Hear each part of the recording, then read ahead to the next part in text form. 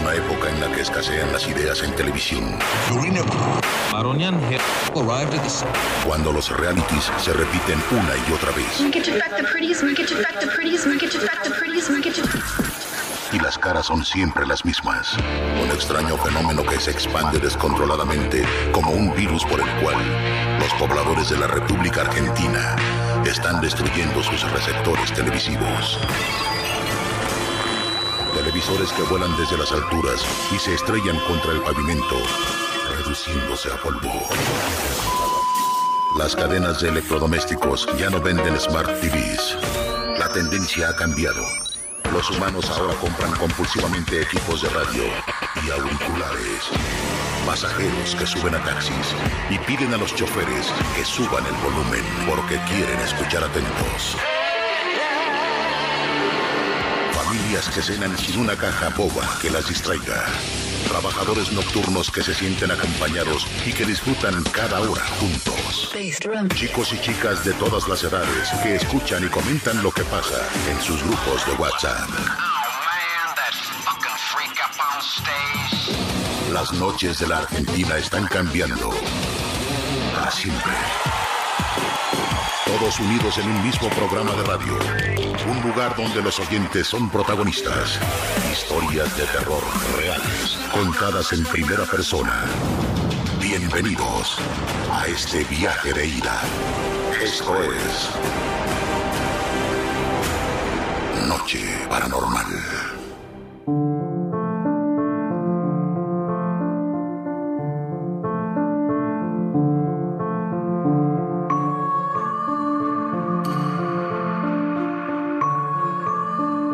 Héctor, Mona, ¿cómo están? Espero que muy bien. Bueno, mi historia es, es breve, de un, de un mito o un fantasma no tan popular eh, dentro de Capital Federal. Sobre lo que hoy es el ecoparque, que era el antiguo zoológico porteño, tenemos la laguna que da hacia eh, Las Heras o Plaza Italia, si se quiere, que está apenas eh, uno entra por, eh, por esa entrada, porque tenés la otra que está sobre Libertador. En la isla de los monos hay unas ruinas que fueron donadas en su momento a Sarmiento por la Embajada de Italia. Son las ruinas eh, directamente desde, desde Roma eh, y están consagradas a la diosa Hécate, que es una diosa lunar eh, capaz de manejar el bien y el mal, por eso tiene tres caras eh, donde maneja el bien, el mar y el equilibrio entre esos dos. Y mm, bueno, los cuentan los eh, conductores de Mateo, los carros que están ahí, los carrojes que están todavía resisten sobre Avenida Las Heras, que ya cuando el parque cierra y esa- esas ruinas están solo iluminadas por, por la luna, más de una vez eh, han visto la silueta de una mujer elevando los brazos justamente hacia la luna. Como el perro es un animal que está consagrado a ella, eh, muchos dicen que la gente que, que es de la zona, que sale a pasear los perros, cuando llegan a esa esquina, los perros empiezan como a aullar, a, tener cierto, cierto descontrol, eh, justamente sobre esa esquina que uno puede desde afuera, desde la vereda, ver la, la isla esta que tiene las ruinas del templo. Esa es mi pequeña historia para hoy. Gracias.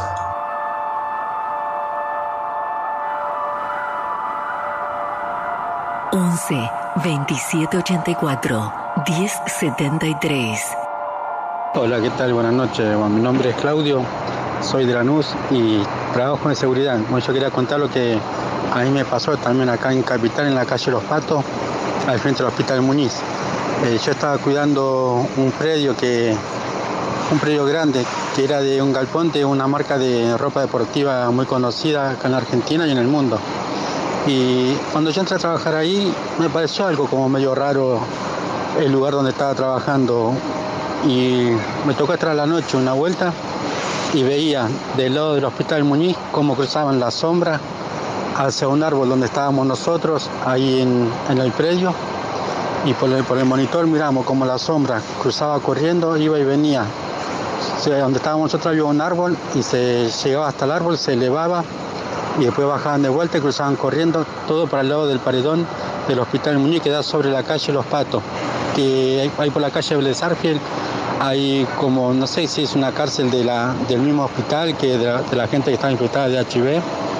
Y bueno, empezaba ahí todas las noches, pasaban y venían, iban y venían la sombra todas las noches. Y después sonaba el, el fichero con el que marcaba con el dedo, sonaba como que decía intente nuevamente que no, no reconocía la huella. Hasta que una vuelta voy, quiero desenchufarlo al fichero y me agarró corriente. Lo dejé, después con mi compañero lo desenchufamos y al otro día amaneció enchufado de vuelta y seguía diciendo intente nuevamente que, la, que no, no, era reconocida la, huella del dedo. Así que bueno, esa fue mi experiencia ahí en la calle Los Patos, acá Capital. Y después también estuve en una estación de servicio en Longchamp, que también en la parte de la oficina se escuchaba cómo se corrían las sillas para todos lados. Uno estaba en la cocinita y se escuchaban las sillas que iban y venían por todos lados. Y después cuando llegaba la, mujer que trabajaba ahí en la oficina, teníamos que subir con ella porque tenía miedo de subir sola. Y bueno, esa fue mi experiencia que, a mí me pasó trabajando acá en seguridad.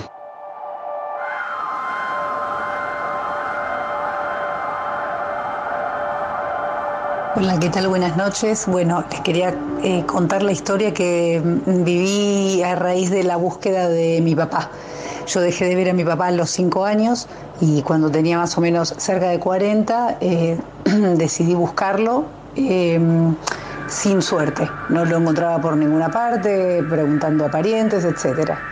Un día llegó eh, a mi casa, en eso fue en el año 2006, yo todavía no tenía celular y en el contestador automático del teléfono de línea había un mensaje de un banco que eh, reclamaba por deudas de mi mamá y de mi papá.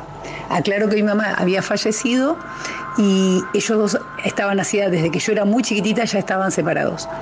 Entonces vuelvo a llamar a este lugar, a este banco, eh, me doy a conocer, digo que soy la hija y doy los nombres de ellos y, mi nombre, eh, y les comento que mi mamá estaba fallecida y que en el caso de mi papá yo también lo estaba buscando.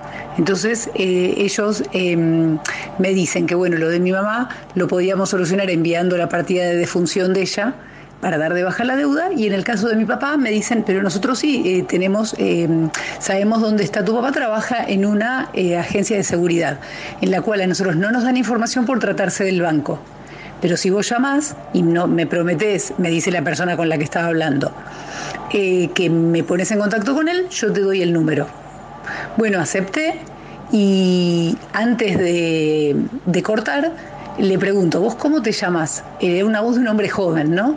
Matías me dice. Bueno, entonces quedamos que ese era un viernes a última hora, que yo el día lunes me volví a comunicar con él.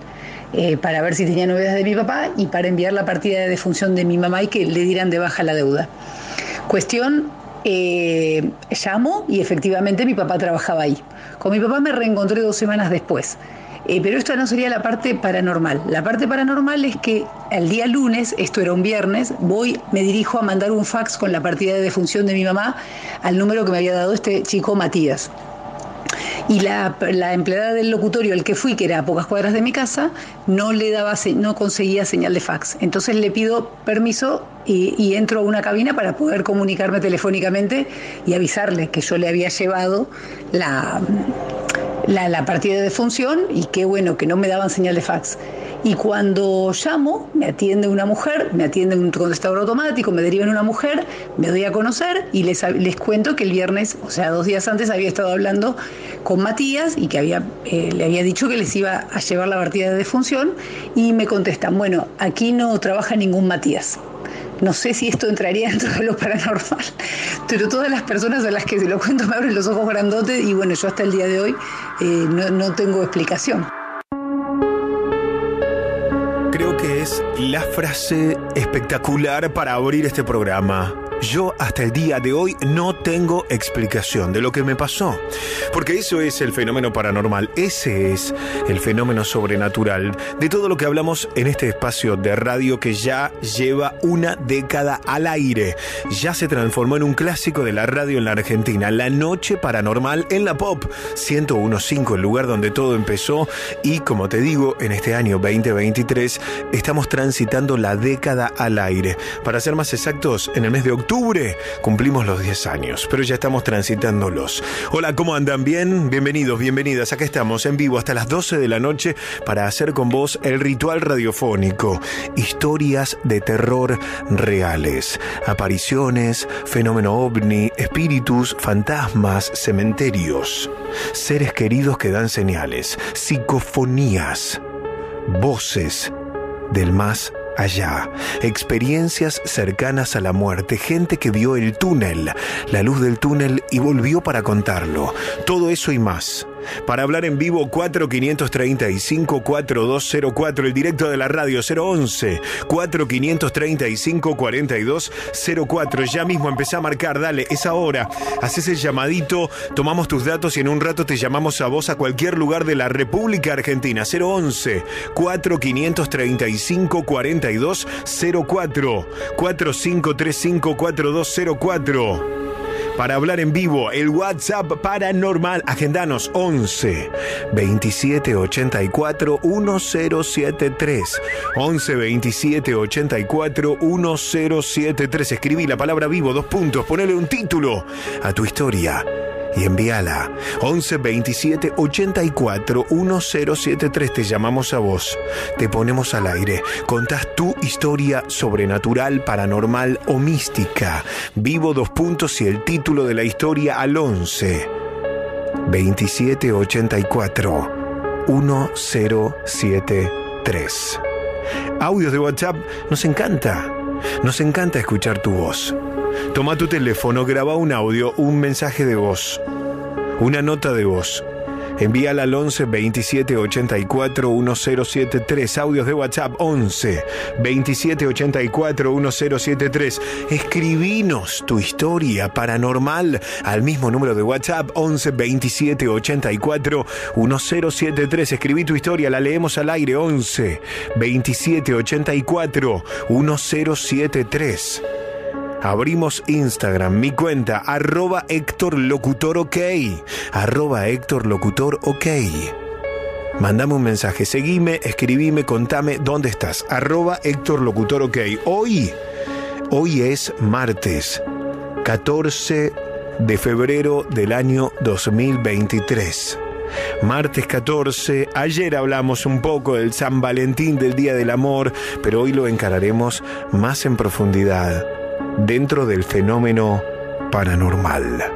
Germán, estás en vivo. Hola, buenas noches. Hola, ¿qué tal, Víctor? ¿Cómo te va? Bien, querido. Gracias por estar ahí. Te escuchamos. Todo bien, ¿cómo le va? Buenas noches. Buenas, noches. Les paso como esto me pasó que yo me estaba a las cinco y media de la mañana de trabajar. Bueno, pasaba por ahí y por ahí, yo iba a una escuadra del cementerio, ¿viste? ¿De qué cementerio? Del cementerio. Perdóname, no se escuchó. ¿De cuál? Del cementerio de Lanús. De Lanús, sí. Y escuchaba gente que gritaba, ¿viste? Y digo, bueno, me acerco cinco minutos de capaz que pasó algo grave, digo. Y veo así para adentro del cementerio un nene del otro lado del cementerio, de adentro.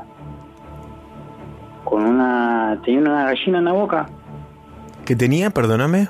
Una gallina muerta. Una gallina muerta. Un pibe, un chiquito en el un cementerio. nene, un nene, una criatura. Comiéndose una gallina.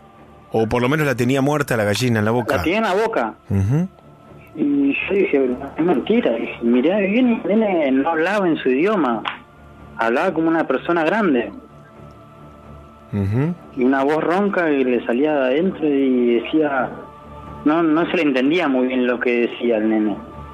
No sé si los videos los viste. Como, o- no, no los vi, los tengo acá para ver y para compartir ahora en mi Instagram. De hecho, lo voy a subir en vivo a mi y cuenta yo de decía, qué loco, digo, no, mm, nunca me pasó en mi vida, no te voy a mentir, tengo 32 años y nunca vi algo tan real. A ver, Yo para. decía, Pero el si pibe era mirarlo. un pibe como poseído. Exactamente, como que no era el nene, era una entidad dentro del nene que... ¿Demonio? ¿Quién dice eso? ¿Quién decía eso, el El demonio? padre, el padre del nene. Ahí está el padre y el hermano. Pero para, el pibe estaba dentro del cementerio. Estaba dentro del cementerio el nene. A ver, a ver, a ver, para, son terribles los videos.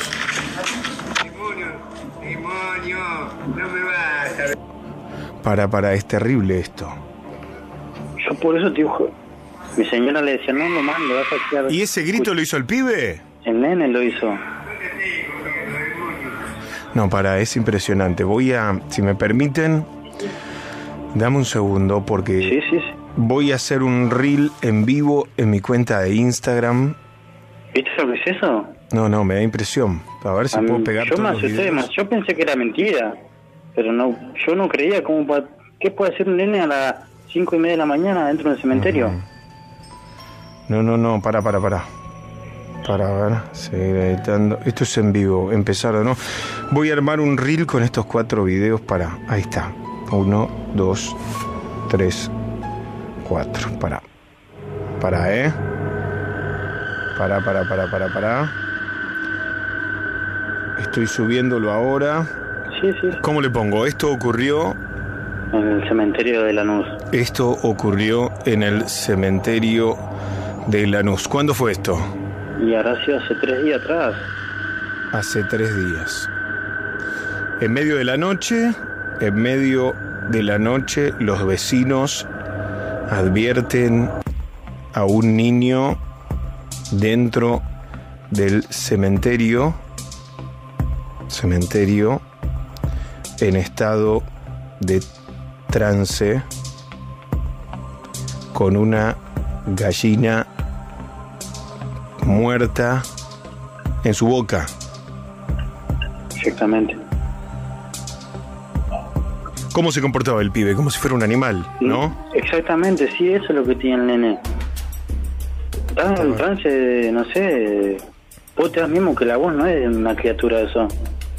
Estaba poseído, voy a preguntar, ¿estaba ¿Y cómo terminó la historia? Porque la verdad que los videos se cortan. soy sincero, mira, yo me voy a trabajar, porque tenía que irme a trabajar. Y no sé, supuestamente me- lo que se enteró mi señora, el nene fue a la iglesia, supuestamente, o lo, lo oraron.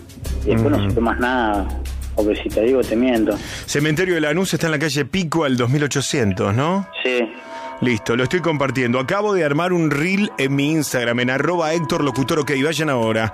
Arroba Héctor Locutor OK. Arroba Locutor. Lo acabo de subir, lo voy a dejar fijado en mi perfil. Aprovechen esos videos para ver, para comentar. Arroba Héctor Locutor OK.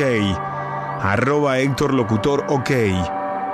Ahí lo acabo de subir a mi cuenta de Instagram. Arroba Héctor Locutor OK.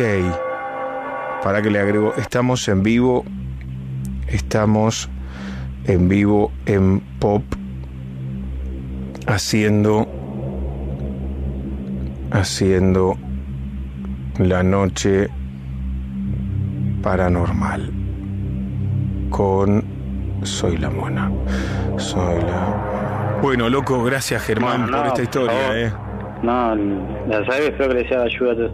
También le digo algo, tienen que algún día, no sé, si se pueden acercar alguno del móvil de ustedes, cuando creman la- los muertos acá en el cementerio, Sí. es un olor en- que se impregna en la ropa, en la piel.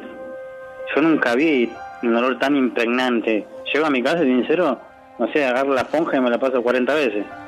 Es terrible, ¿no? Nunca sentí en mi vida, sincero, mira que he pasado por cosas así y nunca sentí tanto olor a carne podrida. Dios mío. Gracias, querido, un abrazo. No, bueno, ¿puedo mandar un saludito nomás? Sí, obvio. Le mando un saludo a mi mujer que estoy cocinando con ella ahora. ¿Qué están cocinando? ¿Qué van a comer? No, co- comemos una picadita y nos estamos tomando un champancito. Como tiene que ser, querido, a festejar el día de San Valentín. Un abrazo. Bueno, muchas gracias, hasta luego. Chao, querido. Así empezamos, 9 y 20 de la noche. Los videos son tremendos. Los acabo de subir a mi cuenta de Instagram, arroba Héctor Locutor OK, arroba Héctor Locutor OK. Estamos en vivo. Vayan a Instagram a comentarlo, a compartirlo, a arrobar a sus amigos o amigas que sean fanáticos o fanáticas del fenómeno paranormal, arroba Héctor Locutor OK. Romina Carballo, la mona, que hoy está desde las 2 de la tarde prácticamente en la radio. Bienvenida a la Argentina. Muchas gracias, querido compañero Héctor Rossi. Quiero contarte a propósito de, este, de esta primera comunicación de la noche, tan fuerte el video que ha subido Héctor en sus redes, Héctor, que eh, el cementerio de Lanús es uno de los más grandes del Gran Buenos Aires. Y en 2021, Héctor, no hace tanto hacia atrás, salió, fue titular de varios portales por el, por el encuentro macabro y terrorífico. Lo descubrió una vecina de Lanús. Hay un video filmado, porque la gente no solo se mete a robar bronce, a romper cosas, sino que dejaron un montón de ataúdes tirados en la puerta misma del cementerio, ubicado en Remedios de Escalada, tal cual lo decías vos, Héctor, eh, junto a la puerta del cementerio municipal de Lanús.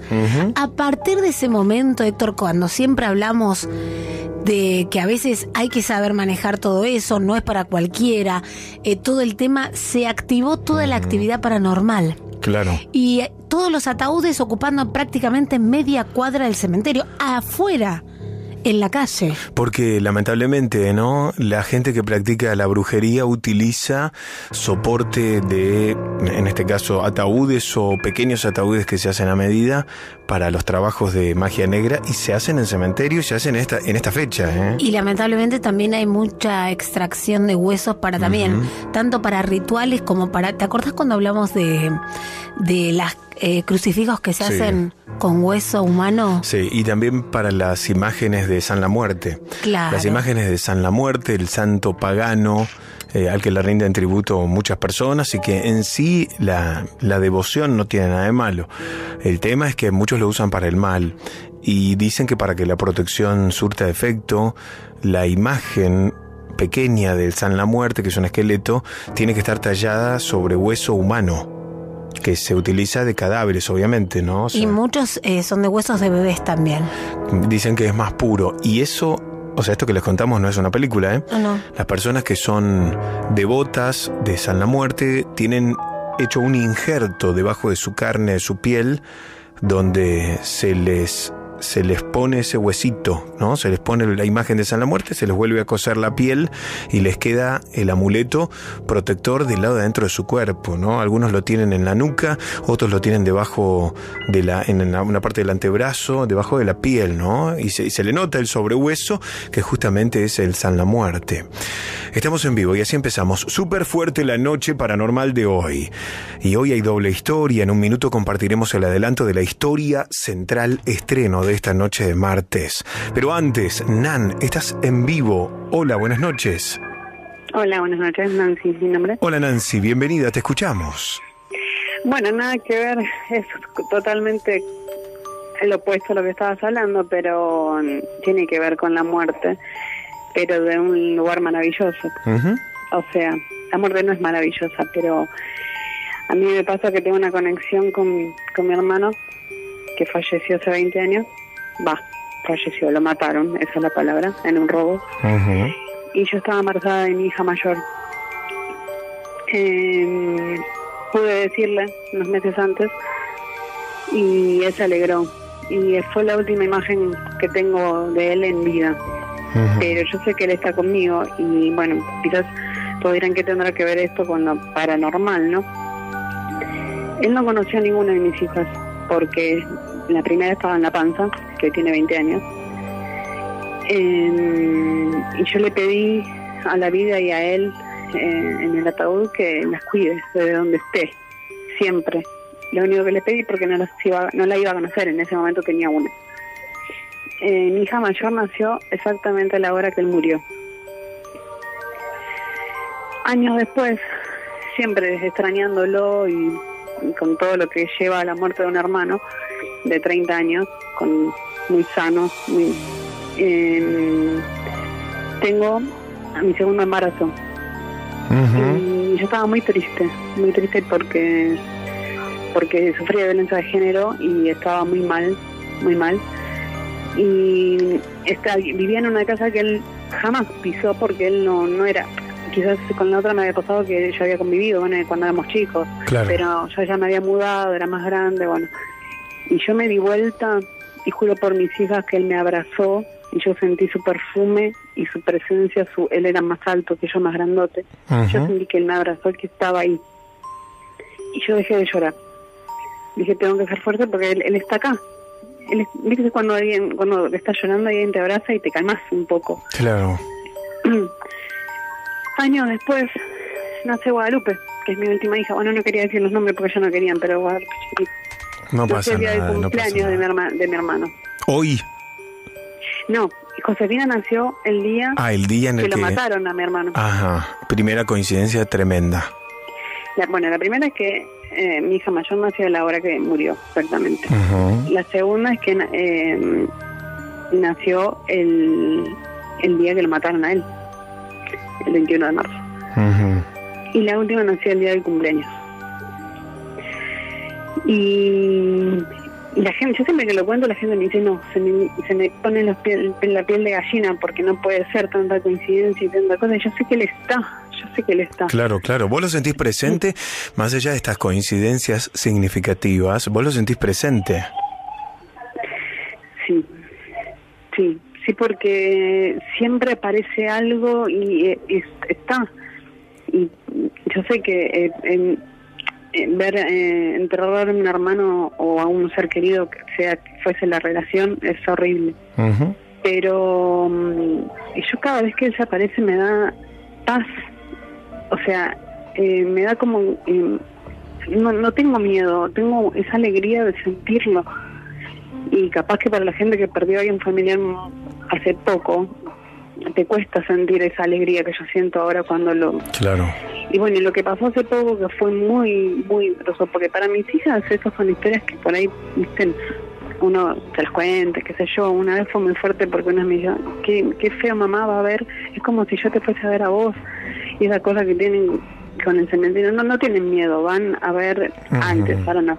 Bueno, y una de mis hijas, eh, una chica le dijo que supuestamente hace, este, no hace rituales malignos ni nada raro, sino que este, se dedica, ella dice que con los ángeles y esas cosas, y le dijo que mm, vos tenés un, una luz, vos tenés alguien que te protege todo el tiempo. Y le dijo, su nombre, dice, su nombre es Fernando. No nos conoce. No, no no me conoce a mí, no conoce, no, conoce Fernando era tu hermano. Sí, sí.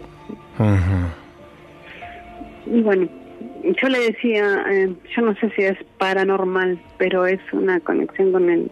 yo creo que hay un más allá, que están acá. sí, obvio, obvio, que están acá y están presentes, así como vos contás a través de estas señales. Nancy, te mandamos un beso grande. Gracias por contar tu historia. Un beso. Chau, chau. Las 9 con 28. Y está bien, obviamente, uno cuando abre su corazón para contar su intimidad y en este caso de seres queridos que ya no están, es obvio que te emocionas. Y está bien que pase. Y está bien que ocurra. Héctor Mona, buenas noches. Soy Mel. Quería compartir con ustedes una historia. Ocurrió hace tres años, el 7 de marzo ese día es mi cumpleaños. Yo estaba con mi marido y dos amigos. Estábamos afuera comiendo unas pizzas, cuando entro a mi habitación a avisarle a mi madre que iba a llevar a una de mis amigas a su casa. Cuando entro a la pieza oscura, siento que alguien me susurra de atrás, déjala en paz. Quedé helada. Al otro día mi madre me dice, Mel, ¿vos llevaste a ese a la pieza del fondo? Le dije que estuvimos toda la noche afuera. Me dijo que me lo preguntaba, porque pasaron dos sombras para la pieza del fondo. Otra tarde llegó mi tía Bachi, estábamos tomando mate. Cuando ella se levanta para ir al baño, mi madre la frena y le dice, no, no, está Eduardo bañándose. Mi tía Bachi dice, si Eduardo está acostado en la cama. Hasta el día de hoy, jura que mi padre Eduardo estaba acostado boca arriba en su cama, pero no estaba ahí, estaba en el baño.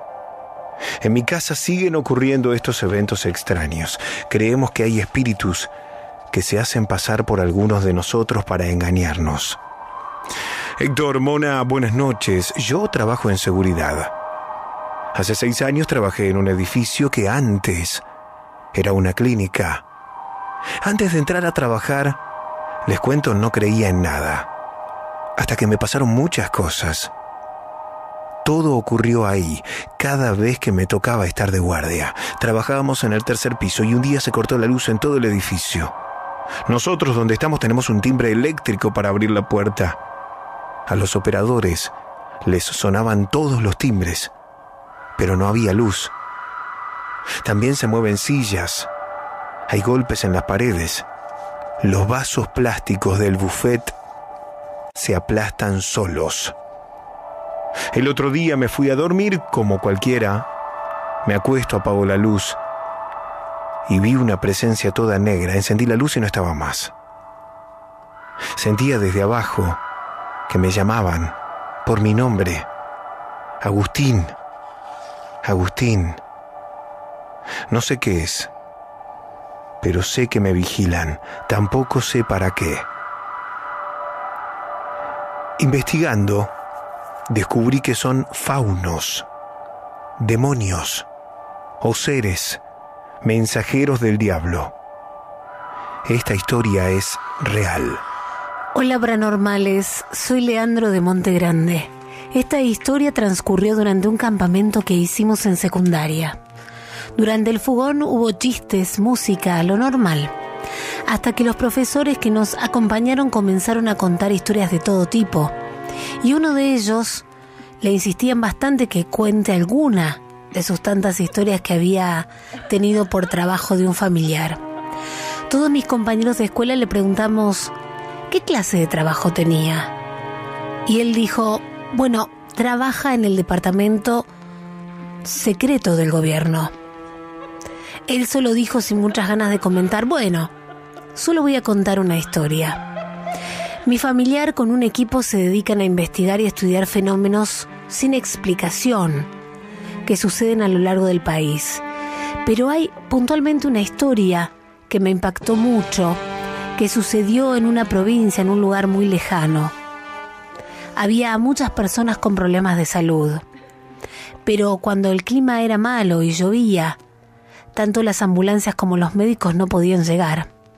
Se complicaba, había que tardar dos a tres semanas. La cosa es que cuando el servicio sanitario llegó a la región, encontraron una familia donde sabían que una de las nenas padecía una enfermedad y necesitaba de medicamentos periódicamente. Pero cuando van, vieron a alguien raro, pero vieron también que esta niña ya no estaba enferma y que estaba jugando felizmente en el patio. Los médicos preguntaron qué había sucedido y los padres respondieron que el doctor los había curado. Y ellos dijeron, pero ¿qué doctor si nosotros somos los doctores y enfermeros? Nadie vino ni ambulancieros, ni nadie del equipo. Ellos dijeron, el doctor vino en un auto que volaba y le dio una inyección a la nena y se curó. Ellos más sorprendidos dijeron, pero le dio algo, le dio medicación. Ellos le contaron que había una cajita de metal con una pequeña jeringa también metálica que adentro tenía el resto de un líquido color azul ellos le omitieron a esas personas que eso no era normal, no era habitual, y demás está decir que ningún médico llega volando en un auto. Esta historia es completamente real. Contarles que después analizaron esos elementos, tanto la caja como la jeringa, y no correspondían a elementos de la tabla periódica. Hasta hoy, no encontraron explicación alguna. Un abrazo. Hola, soy Catalina, tengo nueve años y ya he contado otra historia. Esta historia se trata de la misma persona. Bueno, mi tía, eh, A veces cuando llama a mi mamá por teléfono en videollamada, veo a una persona pasar por la cocina. Ya pasó dos veces. Además que es casi imposible porque nuestra cocina eh, tiene una pared y después sigue por el pasillo. Así que es casi imposible porque se ve la ventana muchas veces. Bueno, la primera vez vio una chica con camiseta de rayas pasar. Y la segunda vez, que fue hace poquito, vio, vio a un hombre no solo en la llamada, sino que pasó por adelante de la casa de mi mamá en auto y vio un hombre con camiseta gris. Y una de las cosas raras es que después vino un amigo de mi mamá a la casa que tenía la camiseta gris. Bueno, esa fue mi historia, muchas gracias. Gracias por tu historia, ¿eh? 9 y 35. Estamos en vivo hasta las 12 de la noche. Bueno, prepárate estos audios, Mauro. Hay dos psicofonías. Una es una psicofonía y otra es una sesión de Spirit Box. Yo sé que gusta mucho esto y lo vamos a compartir con vos. Ocurrió en Chile. Una persona que estaba realizando lo que se denomina transcomunicación instrumental. Esta técnica refiere a personas que quieren entablar un diálogo con un ser querido que murió y para hacerlo deben generar un ruido blanco, un sonido de fondo. A veces es un ruido de estática, de interferencia y otros es música. En este caso una persona quiso entablar un diálogo con su abuela muerta y puso música, un tema que le gustaba mucho a la señora. Cuando revisó la grabación, descubrió esto que vos vas a escuchar a continuación.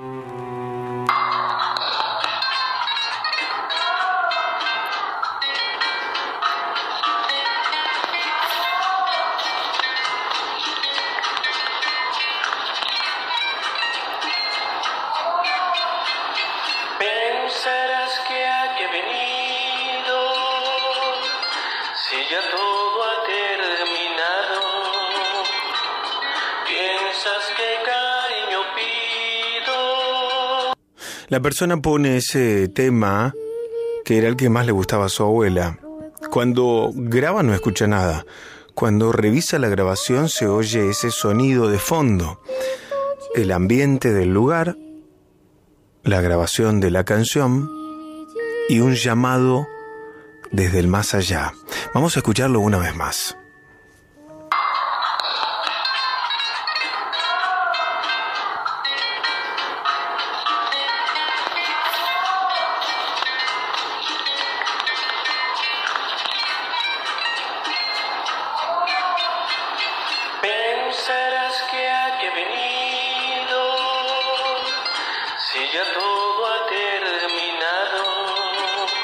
Bueno, ahí viene la parte de la canción. ¿Escuchaste algo, Mona?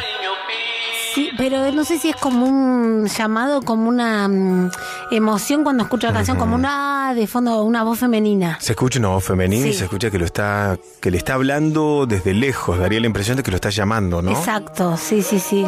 ¿Qué dice? Bueno, acá es donde aparece la interpretación. Lo escuchamos una vez más. Presten atención al, al inicio de este audio.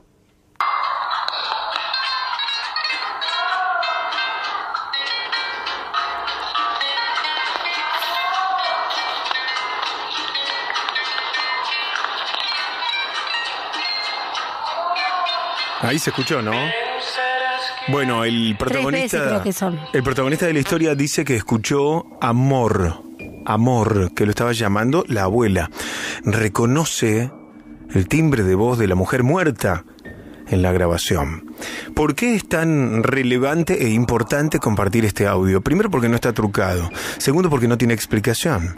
Tercero porque qué difícil es seguir siendo escéptico del fenómeno paranormal cuando ocurren estas cosas, porque uno puede entender que una interferencia o un fallo eléctrico pueda generar un sonido o un ruido en la grabación, pero esto no es una interferencia y esto no es una falla eléctrica, evidentemente hay algo más que existe, aunque en la percepción de los cinco sentidos quede afuera. Siempre me gusta poner este ejemplo. Hay una, pues, uno de los ejemplos de los que podría poner en función de lo limitados que somos con nuestros cinco sentidos que perciben la realidad entre comillas. Con los ojos, ¿vos podés ver otro planeta? No. Necesitas un dispositivo, un telescopio, no llegamos a verlo. Lo que no implica que no exista. Lo que no signifique, no significa que no exista. Vos con el oído, si yo te digo que hay frecuencias del sonido que no escuchás, pero que un perro o un murciélago sí. Tal es así que las palomas y los murciélagos son ahuyentados con una frecuencia de audio que nosotros no escuchamos, no percibimos directamente y a, y a esos animales los, los espanta. O sea, los vuelve locos. ¿Que vos no lo escuches quiere decir que no existe? No. Existe, pero nosotros somos limitados a través de nuestro oído por ese sentido. Somos limitados y no lo percibimos. Que no lo percibamos es igual a que no exista? No. La verdad es que no. Existe y no lo percibís. Ahora, claro, como nuestra mente y si querés nuestro cerebro procesa la realidad en función de lo que percibe, entramos en un debate filosófico de que si no lo percibimos las cosas no existen. ¿No? Lo de lo, lo esencial es invisible a los ojos y ese tipo de frases de la literatura universal hacen referencia a esto, a que si uno no lo ve no existe. Miren, en el día de San Valentín, ¿saben cuántas parejas prefieren no saber si, si el otro los engañó en función de que si no lo sé no me hace mal, si no lo sé no existe? Bueno, o sea, aplica acá esto existe, ocurre, no lo percibís. Esto es igual. Existe, ocurre, uno no lo percibe, la grabadora sí. Segundo ejemplo de todo lo que ocurre y que no percibimos. Un hombre compró una Spirit Box. Si ustedes googlean Spirit Box, es una caja que tiene un dispositivo de radio que barre frecuencias. Eso significa, para que lo entiendas rápido, es como si hicieras un zapping rápido. O como cuando compras un electrodoméstico nuevo que tiene una función de autosintonía, que vos apretas un botón y va barriendo todas las señales y, e identifica los canales, por ejemplo, o las señales de radio. Esto es igual, pero no fueren a ningún lado. ¿Cómo funciona la Spirit Box? Vos haces una pregunta. La Spirit Box barre frecuencias y se detiene.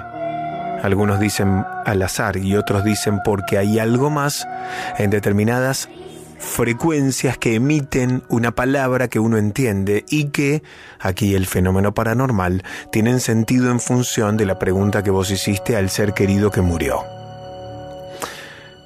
Lo escuchás y lo vas a entender mejor a qué me refiero. Presten atención. Hola. ¿Quién eres?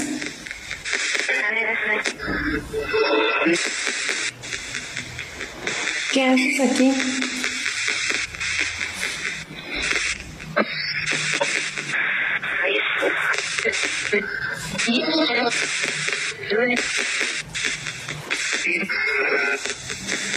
¿Quieres ¿Quieres irte a descansar?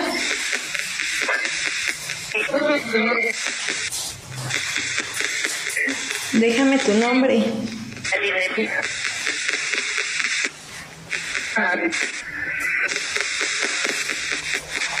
¿Hay algún mensaje que quieras dar?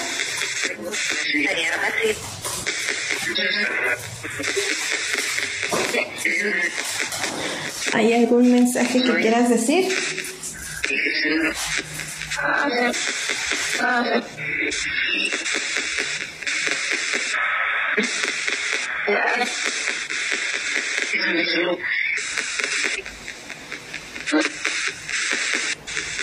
Te dejo luz aquí en mi altar.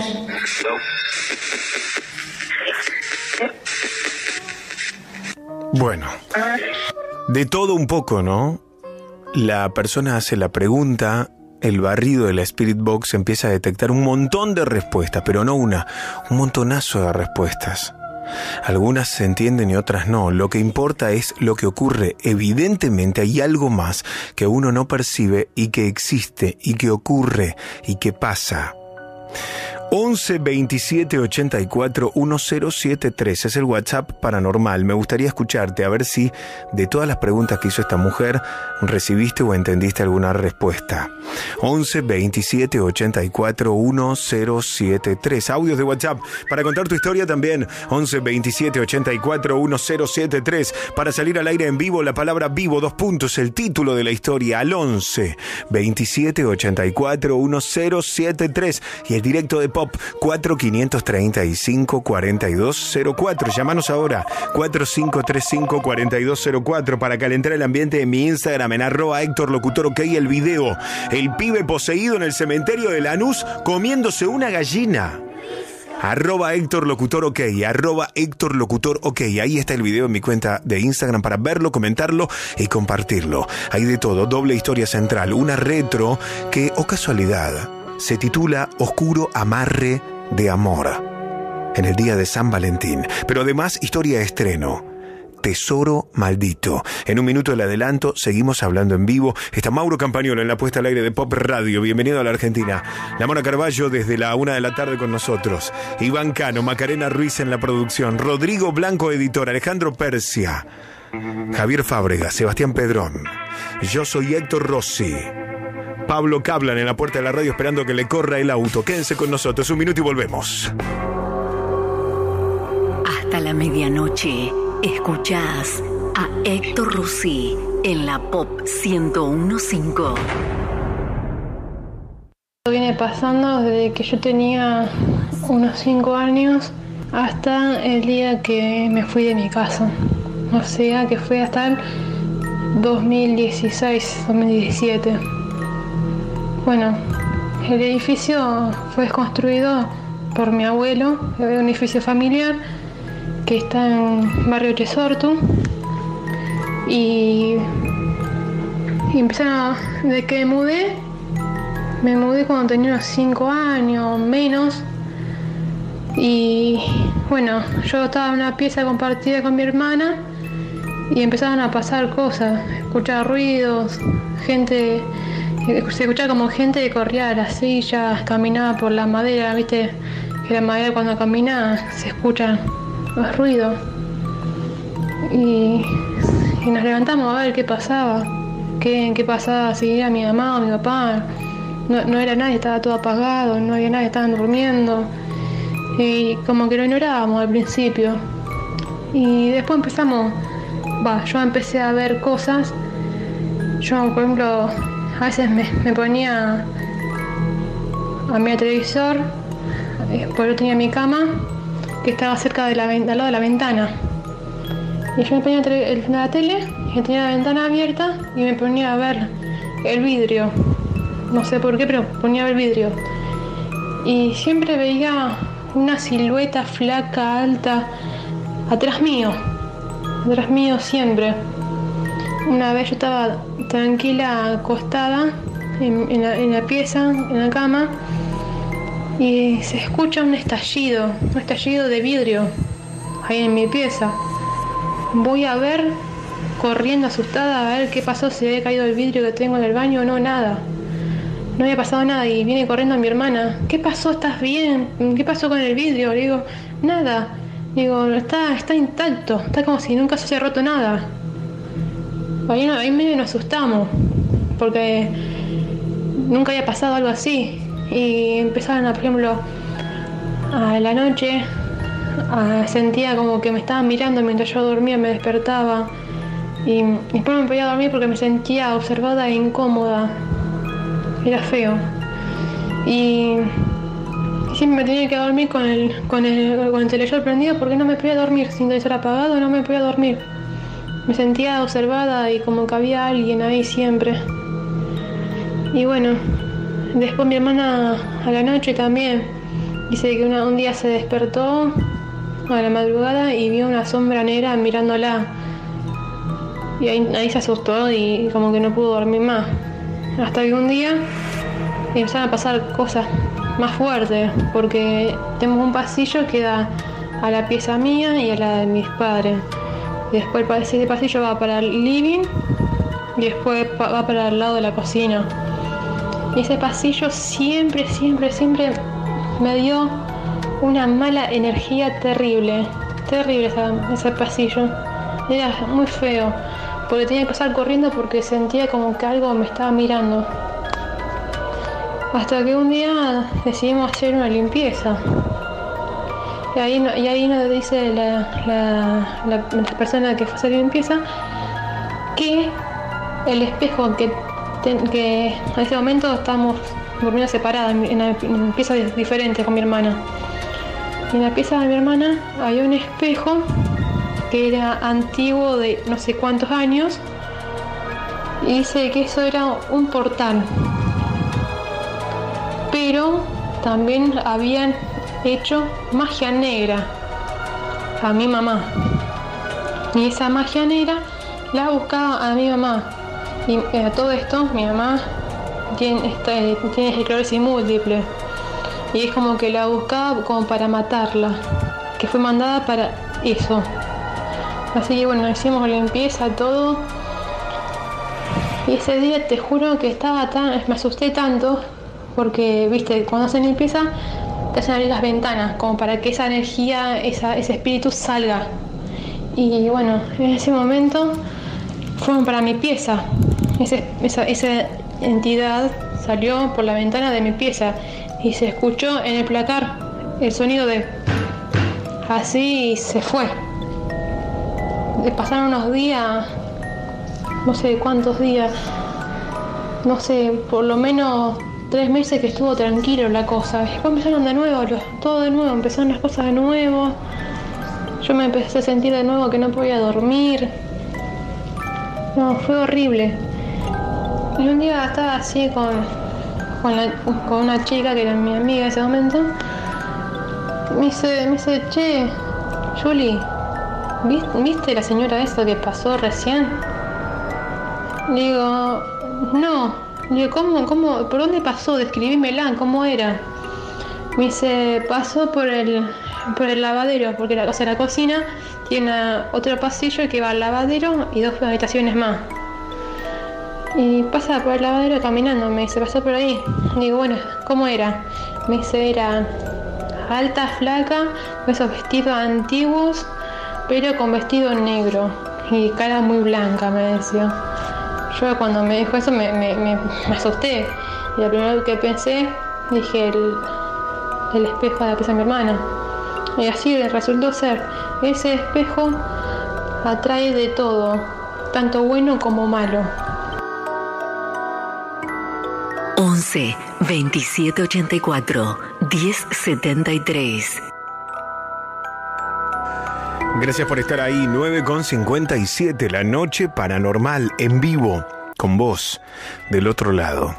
Estos audios llegan al 11 27 84 1073. 11 27 84 1073. Acordate, todo el programa y todas las historias centrales las subimos a mi canal de YouTube que es arroba trasnoche paranormal.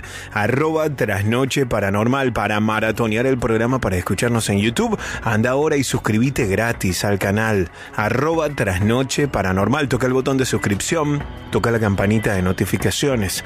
Arroba trasnoche paranormal. Vayan ahora. Este sábado 18 de febrero a la medianoche estrenamos el episodio 3 del Mano a Mano Paranormal. Especial Con Jorge Luis Subdorf. Para verlo, te metes ahora en YouTube, arroba trasnoche paranormal, te suscribís al canal. Así no te lo perdés. ¿Ok? Este sábado 18 de febrero, medianoche, en arroba trasnoche paranormal en YouTube, nuevo mano a mano paranormal. Para hacerla más fácil pueden ir a mi Instagram, arroba Héctor Locutor OK, arroba Héctor Locutor OK, y ahí tienen el link en la biografía, arroba Héctor Locutor OK. ¿Quién habla en vivo? Hola, buenas noches. Hola Héctor, Sí, ¿cómo te llamas? Elian, Hola, Elian, ¿cuántos años tenés? Tengo nueve años. Nueve años. ¿Y la historia que nos vas a contar te pasó a vos? Sí, A ver, contanos. íbamos de paseo con mi mamá y mi papá a Pereira, supuestamente un parque. Al Parque Pereira Iraola, ¿no? Sí, Ok. cuando llegamos estaba todo lo más tranquilo y vimos un fuego, lo quedamos ahí un rato hasta que se hizo de noche. Cuando nos íbamos, todos los árboles se movían y algunos árboles se quedaban como una cueva y se formaron como una cueva un poco raro y de ahí salió una mujer Sí.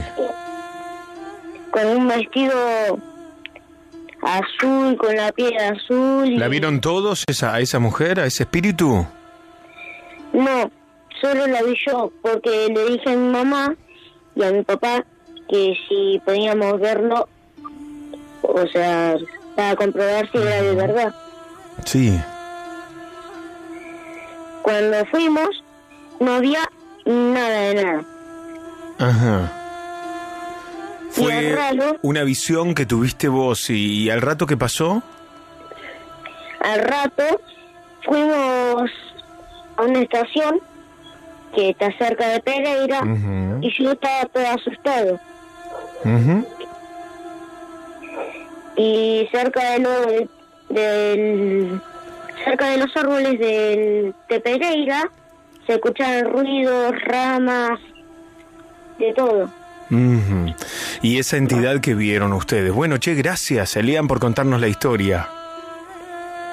Siempre te escuchamos en la radio. Bueno, much- muchas Me gracias. encanta, me encanta tu canal en YouTube. ¿En serio me seguís en arroba trasnoche paranormal? Sí, Bueno, muy bien. Este sábado los espero con el mano a mano, ¿eh? dale, Bueno, beso, chau, chau. chao. Chau, y estamos, ¿eh? Soy el nuevo Topa, la verdad.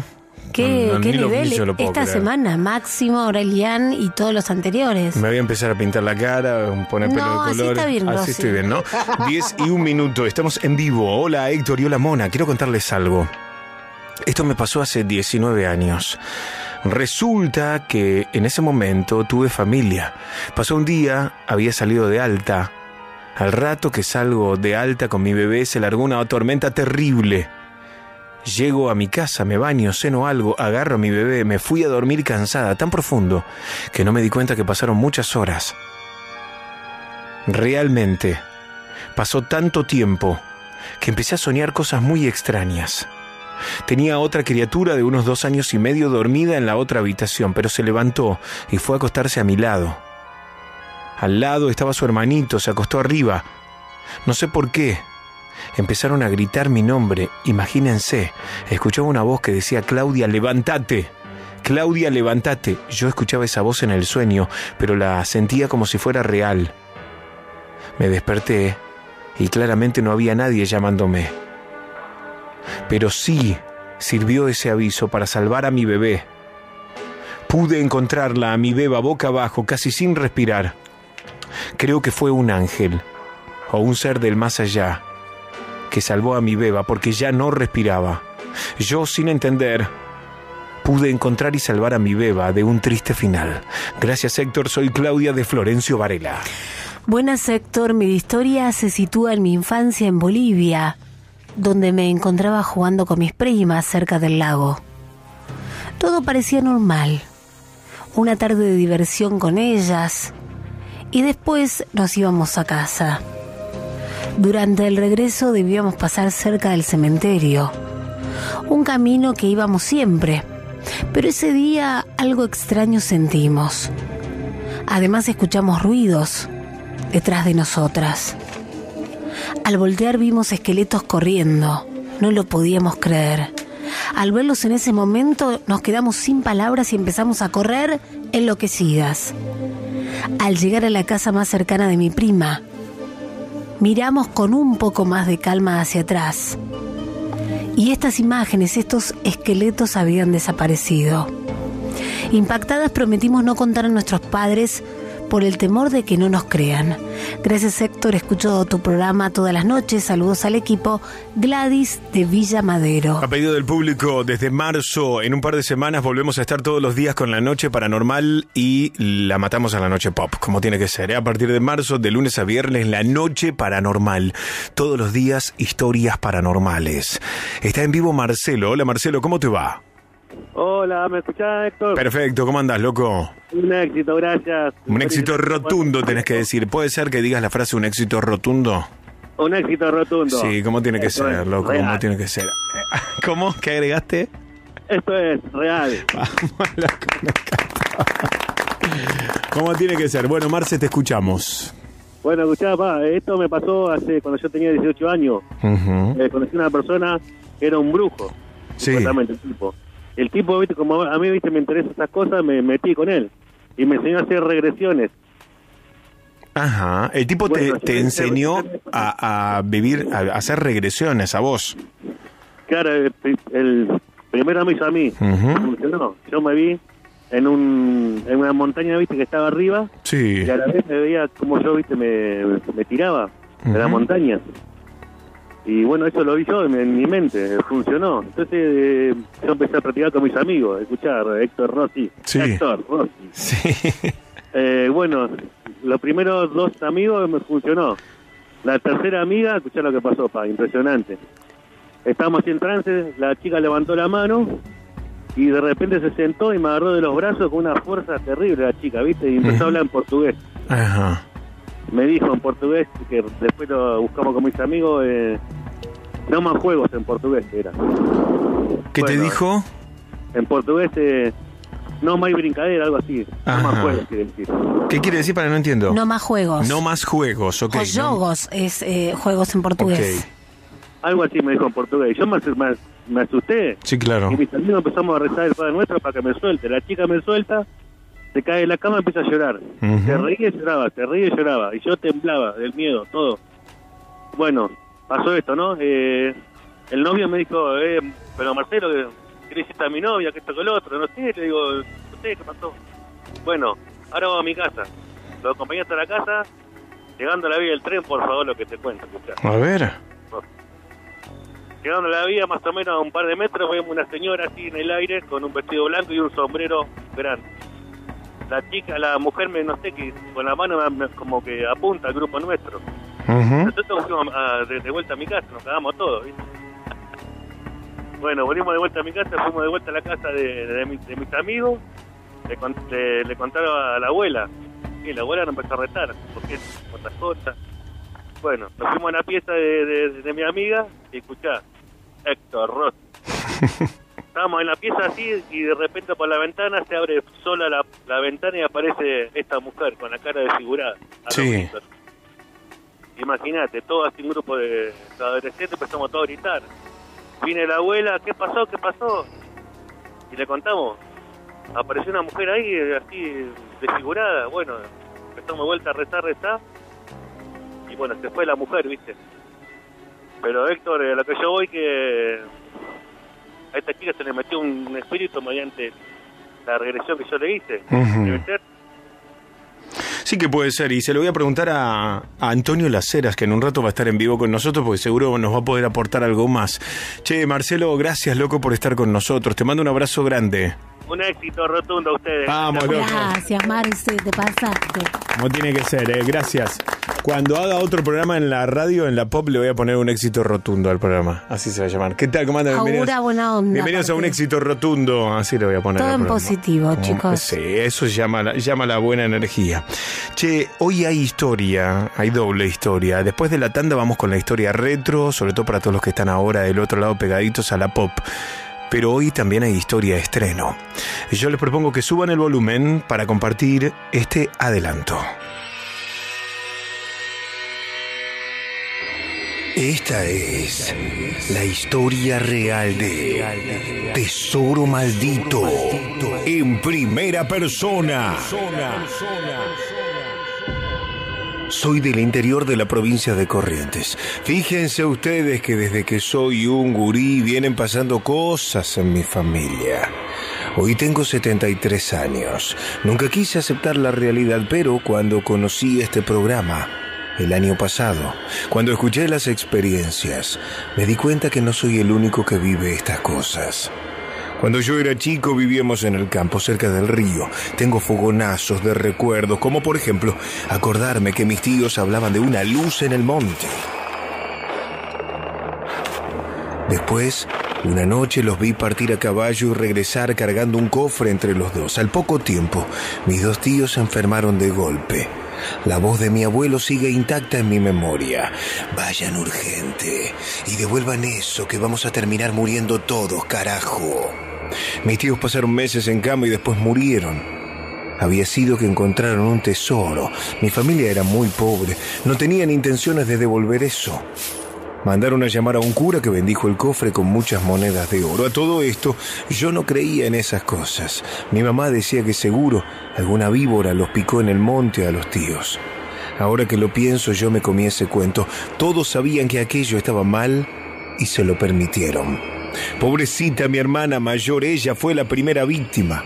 Estaba recién casada. Mi padre le dio un poco del oro para que pueda comenzar una nueva vida. No duró nada aquello. Se los cuento.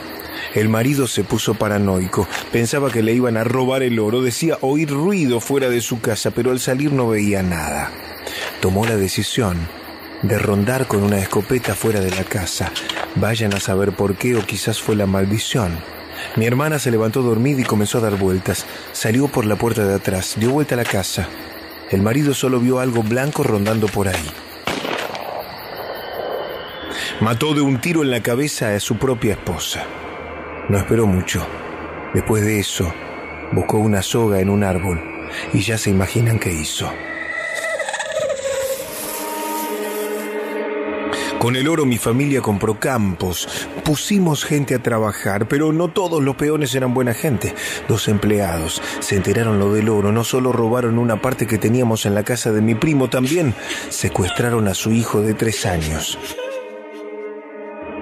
Nos mandaron una carta pidiendo más oro como rescate. La verdad, eran bastante tontos. Rápido nos enteramos que estaban escondidos en una chacra. En ese momento yo tenía 15 años.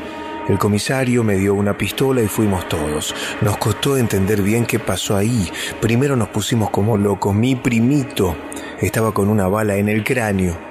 Los otros dos también muertos a tiros. Según el comisario, los malandras esos comenzaron a pelearse por el oro, se mataron a los tiros y una bala le pegó al nene.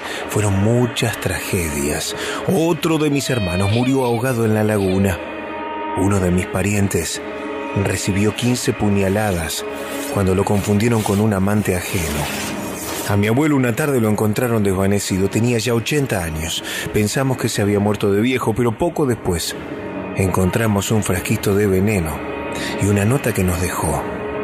Yo les advertí, me voy solo, no me van a llevar los fantasmas. Cuando cumplí los 25 no quedaba nada de aquel oro, apenas nos quedaba un campo, hubo muchos malos manejos, mi padre también se envició con las apuestas. Me acuerdo que le debía un fangón de guita a un misionero. El tipo lo andaba buscando con otros dos. Mi padre agarró su caballo y fue a esconderse al monte. Yo tuve que mediar con ese delincuente. En reposición de su dinero le entregué siete caballos. Al rato mandaron a buscar a mi padre. Cerca de la noche volvió un peón cabalgando. Traía a mi padre. Ya de lejos lo vi muerto. Estaba blanco. Solo un adelanto, para un cachito. Para, para, para, para, para, para, para. El día del amor hoy. Tenemos Por eso, paciencia. con amor les digo, banquen un minuto. Esto va a salir en un rato. me la dejaste picando. Solo un adelanto antes de las 12. La historia central estreno. Deja remanija, recatate. Rescatate. En un rato la historia completa de Tesoro Maldito, pero igual como somos tan buena gente, eh, después de esta tanda se viene el oscuro amarre de amor en San Valentín. Quédense con nosotros para hablar en vivo 4535 4204 011 4535 4204 WhatsApp Paranormal, tu historia. Hoy regalamos otro libro de la noche paranormal. Entre todas las historias que lleguen en audio, al 11 27 84 1073 se va un libro. Lo sorteamos a las 12 de la noche. 11 27 84 1073. Audios de WhatsApp ahí. Banquen por favor esta tanda y volvemos. Cementerios malditos. Carreteras llenas de almas en pena. Casas embrujadas. Acá no hay ficción. Acá hay historias reales. Estás en La noche paranormal. Esta es la historia de Oscuro Amarre de Amor.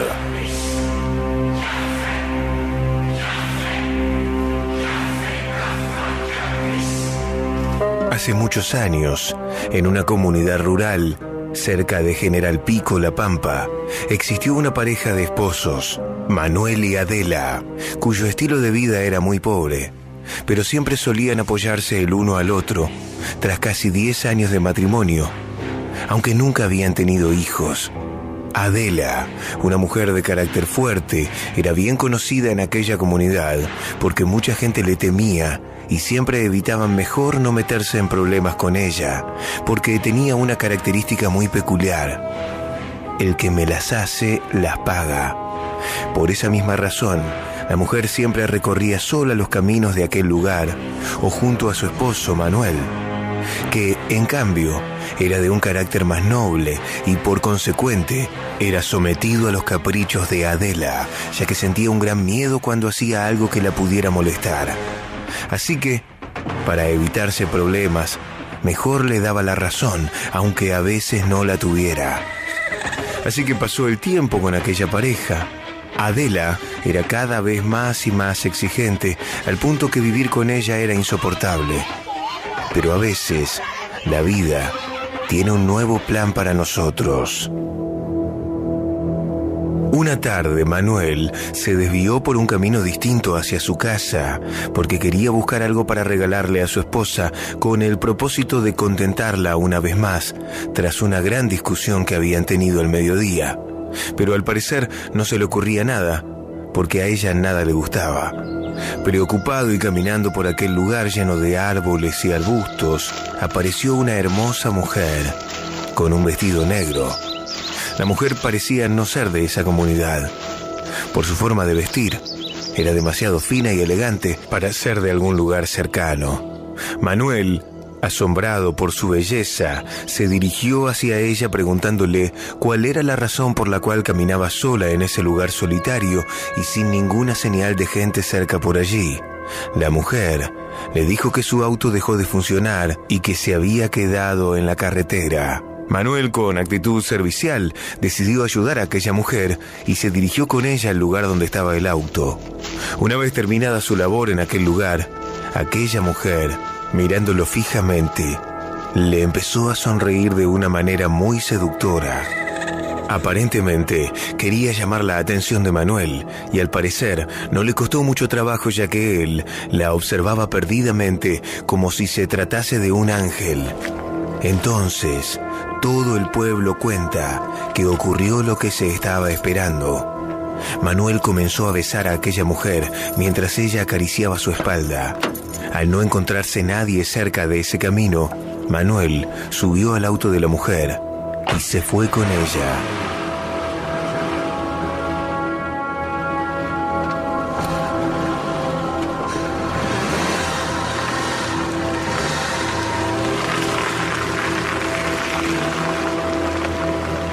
Al principio él se sentía un poco mal, ya que era casado, y temía porque Adela no se diera cuenta, pero a la vez su fastidio y su horrorosa convivencia con Adela lo convencieron de marcharse y empezar una nueva vida. Tiempo después, Adela empezó a preguntarse por qué su esposo no regresaba del trabajo y ya molesta porque no llegaba, decidió salir a buscarlo. Manuel no aparecía por ningún lado. En un momento le contaron a Adela que una mujer de vestido negro estaba con él y que se fueron juntos. Adela, sin pensarlo, se tiró al piso y comenzó a llorar desesperadamente. No había ni una duda más. Manuel la había abandonado. Así pasaron cinco años desde que Manuel se fue con aquella mujer de vestido negro y Adela, amargada y resentida, vivía sola en su casa. Las intrigas la gobernaban de vez en cuando y se preguntaba dónde estaría Manuel después de varios años de haberla dejado. Pero pronto su pregunta sería respondida. Una mañana la madre de Adela habló con ella y le contó acerca de una mujer que vivía a un rancho a solo 20 minutos de distancia de su comunidad. Esa mujer era bruja Tal vez podía ayudarla. Adela, no muy creyente de estas cosas, dudó un poco y se preguntaba si en verdad aquella mujer podría saber dónde estaba Manuel. Sin pensarlo, tomó a su madre del brazo y caminaron hacia la ruta donde pasaba el autobús que se dirigía al lugar donde vivía esa mujer. Al llegar, fueron testigos de los vientos fríos y los árboles tenebrosos que se encontraban a la entrada de aquella casa donde vivía esa mujer. Al hablar un rato con Eva, la supuesta bruja, ella le dijo que hablaría con Astaroth, el gran duque del infierno, para preguntarle dónde se encontraba su esposo. Al contactar a tan tremenda presencia oscura mediante un pequeño péndulo, Eva preguntó por el esposo de Adela y de inmediato los ojos de Eva cambiaron a un color completamente blanco y con una voz ronca respondió que Manuel se fue lejos con otra mujer. Adela, furiosa y con tremenda desesperación, preguntó si había alguna manera de recuperarlo, a lo que Eva le respondió que tenía que elaborar un amarre, que éste lo haría volver con ella y que jamás se separaría de Adela hasta que ella muriera. Adela aceptó. Eva le dijo que en tres días Manuel regresaría a su casa, le pediría perdón de rodillas y que sería sometido a su voluntad para siempre. Ella, un poco insegura de aquella mujer, regresó a su casa y después de tres días, alguien tocó a la puerta.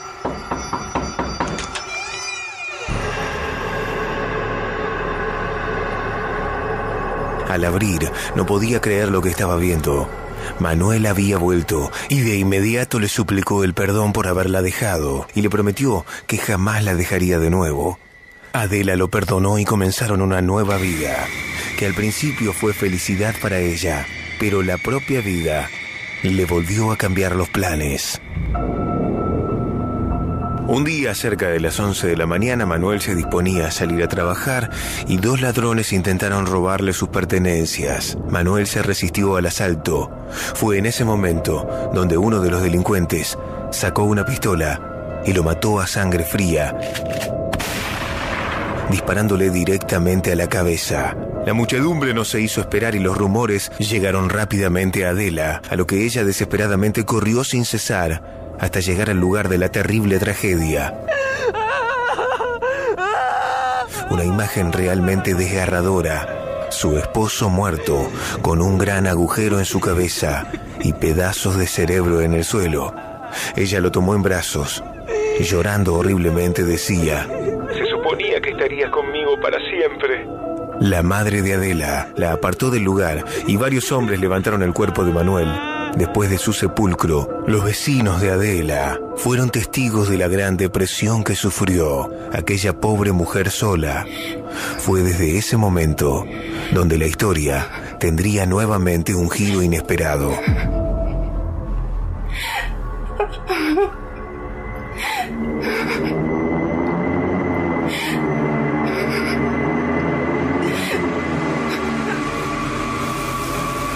Adela comenzó a ser testigo de presencias extrañas en su casa, murmullos, llantos y grandes fenómenos paranormales. A veces las cosas se movían solas durante la madrugada, podía ver siluetas en la noche, incluso era testigo de que algo o alguien la visitaba y se acostaba junto a ella, abrazándola o acariciándola, incluso a veces hasta su cara. Una madrugada, cerca de las 3.45 am, ella se levantó de golpe, pero sintió que alguien la vigilaba.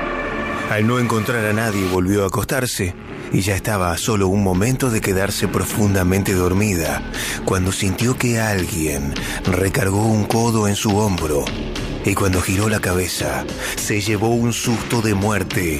Lo que vio la hizo saltar de la cama. Era el rostro de un cadáver en estado avanzado de descomposición que la miraba fijamente.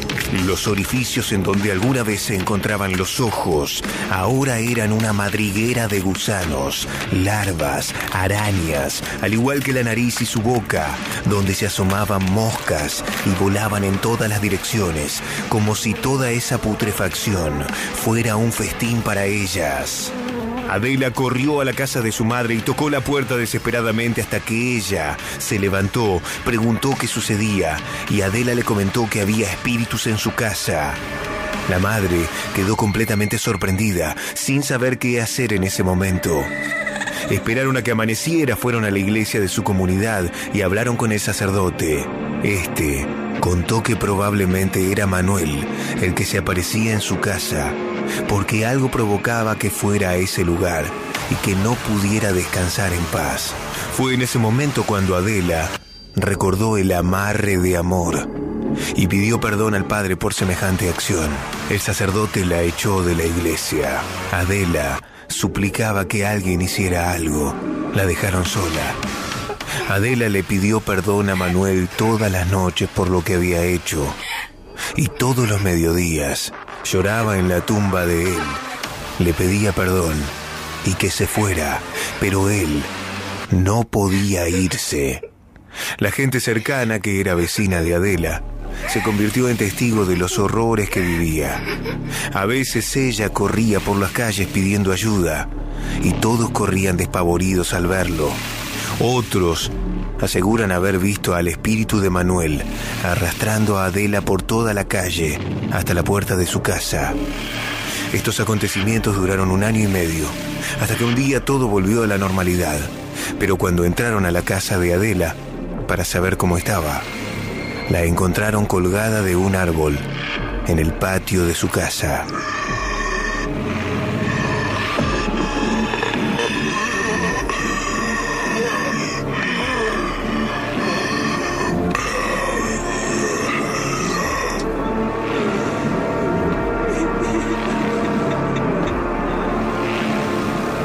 Aferrarse a alguien que no te ama y querer obligar a la pareja a permanecer a tu lado contra su voluntad puede convertirse en cadenas dañinas que lastiman, destruyen e hieren a un grado en el que vos o tu ser amado pueden convertirse en un monstruo.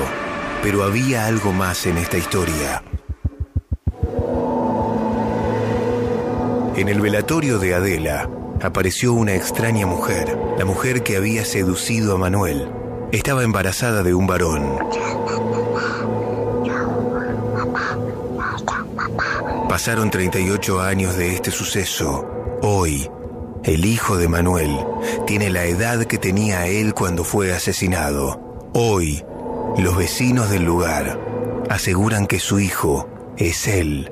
Físicamente es exactamente igual, solo que ahora está preso después de profanar la tumba de Adela y llevarse su esqueleto para tenerla junto a él todas las noches en la misma cama.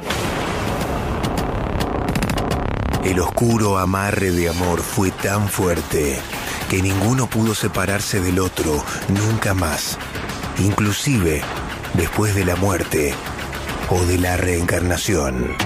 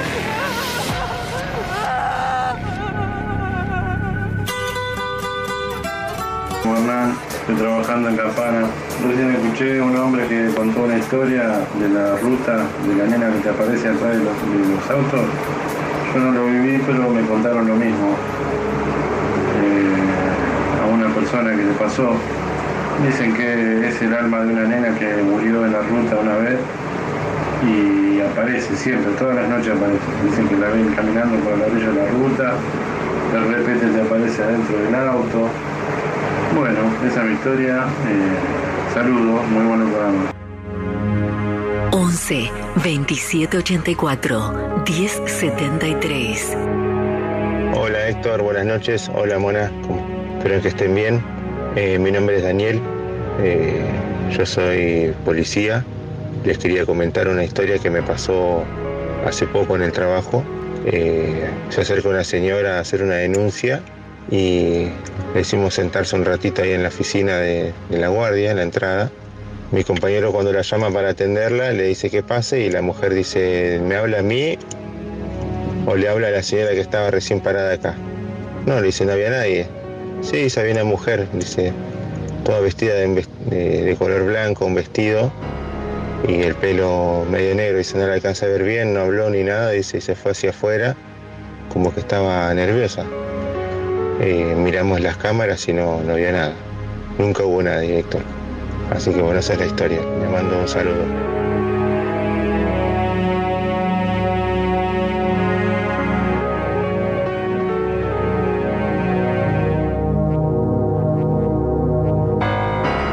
Noche, 35 minutos, ¿eh? Recién la historia retro, gracias, no se asusten. En un rato la historia central estreno en esta super noche paranormal de la Pop 1015. Vamos a hablar en vivo, ¿querés salir al aire? El directo de la Pop 45354204. Estamos en vivo en el martes 14 de febrero. 45354204. Llámanos ahora, marca el directo 011. Si estás afuera de Cava, 453-54204. Llamás, tomamos tus datos y nosotros después te llamamos a vos. Podés agendar el WhatsApp paranormal el 11 27 84 1073. 11 27 84 1073. La palabra vivo, dos puntos. Ponele un título a tu historia y envíala al WhatsApp paranormal para salir al aire. O grabala en un audio. Contanos en un par de minutos qué es lo que te pasó, tu experiencia paranormal. Entre todos los audios regalaremos otro libro de la noche paranormal. Audios de WhatsApp al 11 27 84 1073. También podés escribir tu historia paranormal. También nos encanta mucho con la mona interpretar tu historia, así que redactala, escribila y envíala. 11 27 84 1073. 11 27 84 1073. Tengo Instagram en, el teléfono, obviamente. Podés seguirme en arroba Héctor Locutor OK. Arroba Héctor Locutor OK. Seguime ahora. Mandame un mensaje privado también con tu historia. Arroba Héctor Locutor OK. Está el video del chiquito poseído en el cementerio de Lanús. Lo pueden ver ahora en arroba Héctor Locutor OK. Ya tiene 27 mil reproducciones, ¿eh? Una locura. Se meten en mi Instagram Héctor Locutor OK. Héctor Locutor OK. Le dan play el primer video, el que está fijado, y pueden verlo, comentarlo y compartirlo. Arroba Héctor Locutor OK. Arroba Héctor Locutor OK. ¿Crees o alguna vez escuchaste hablar, Mona, y vos que estás del otro lado, sobre almas gemelas? La posibilidad de estar predestinado al amor con alguien que incluso viene de otra vida. Creo y me parece que, mm, que a veces también la gente se, se encuentra con su otra mitad, como se dice, ¿no? Pero creo que es poco habitual. Creo que es poco habitual. Hay que ver también cómo uno lo reconoce o reconoce su alma gemela. Tal vez piensa que es el amor de su vida y tal vez nunca apareció en su vida. Hay que ver eso Pero hay una sensación de reencuentro. Mucha gente que nos está escuch- obviamente escuchando ahora y quizás festejando este día de, de los enamorados de San Valentín, te puede contar, cuando conocí a mi pareja, sentí reencuentro y no encuentro. Tuve la sensación de que me reencontraba con alguien que ya conocía, pero yo no la conocía a ella o no lo conocía a él. Pero es como que la sensación es de ponerte a hablar con esa persona y decís, coincidís en todo, te gustan las mismas cosas, como que tenés los mismos hobbies. Y- Y ahí es donde dicen, porque a un amigo le pasó y dice, bueno, evidentemente nos encontramos en otra vida y como bien decís Héctor, nos reencontramos ahora. ¿Estamos predestinados al amor con determinadas personas? Vamos a preguntárselo a ella que nos va a poder hablar de vidas pasadas, de registros akáshicos. Samantha Domínguez está en vivo. Hola Samantha, ¿cómo te va? Hola, ¿qué tal? ¿Cómo estás, Héctor? ¿Qué tal, Mona? Y a todos. ¿Qué, tal, Samantha? Bienvenida. Gracias. Bueno, existen, eh, para entrar directamente al hueso con el tema, ¿existe este concepto de almas gemelas, de reencuentro de otra vida, Samantha? Sí, sí, sí, existe. Eh, habría que explicarlo un poquito más, eh, porque no es tan almas gemelas así de fácil como bien dijo la mona. Eh, nosotros tenemos oleadas, ¿no es cierto?, en las encarnaciones, en donde eh, todos los seres de una misma oleada estamos constantemente encontrándonos y no necesariamente esa persona que te encontrás y es tu pareja es tu alma gemela. Puede ser tu, digamos, pareja dármica, se, se llama, o pareja alma compañera te da que vos te encontrás realmente, estamos hablando a nivel técnico, ¿no? Realmente con tu alma gemela dos veces en 26.000 años. Ay, no, es ay, mi ay, ay, intención, no es mi intención pincharte el globo, lo que pasa que el término alma gemela está mal utilizado. En realidad sería pareja dármica, no por vos, ¿eh? me refiero popularmente. No, no, pero está bueno lo, lo que explicas, porque digo, Sí. por un lado, para, para que también los que nos están escuchando vayan siguiendo. Pareja dármica es esta sensación de conocer al otro, no es el alma gemela, a ver si te entiendo bien. Porque Dale. significa que en otra encarnación, esa alma, quizá fue, en otra encarnación era mi hermana y hoy es mi pareja, ¿no? Así, así hay que entenderlo. Podría ser así, es decir, no necesariamente las parejas que tenemos en la vida pasada van a volver a ser parejas en la próxima. Claro. Sobre todo si fueron desastrosas, por favor pido que no, ¿no es cierto? Claro. Eh, pero sí, pero sí puede pasar que vos, eh, o sea, para ser más técnica más y más comprensible para la gente, imagínate que de un sol salimos todos de una vez, salimos, no sé, 5 millones de almas, ¿sí? Esas 5 millones de almas vamos a estar, como salimos del mismo tren, por decirlo de alguna manera, al mismo momento, todo el tiempo encontrándonos vida tras vida. ¿sí? Si hicimos cosas buenas, es decir, Dharma, eso se llama Dharma, lo bueno, ¿sí? Eh, o, o lo, lo, lo nutri- digamos lo que te nutre, ¿no? Lo nutritivo. El karma tampoco es que sea negativo, pero hay algo pendiente. Tampoco te lo voy a pintar como la luz total, ¿no?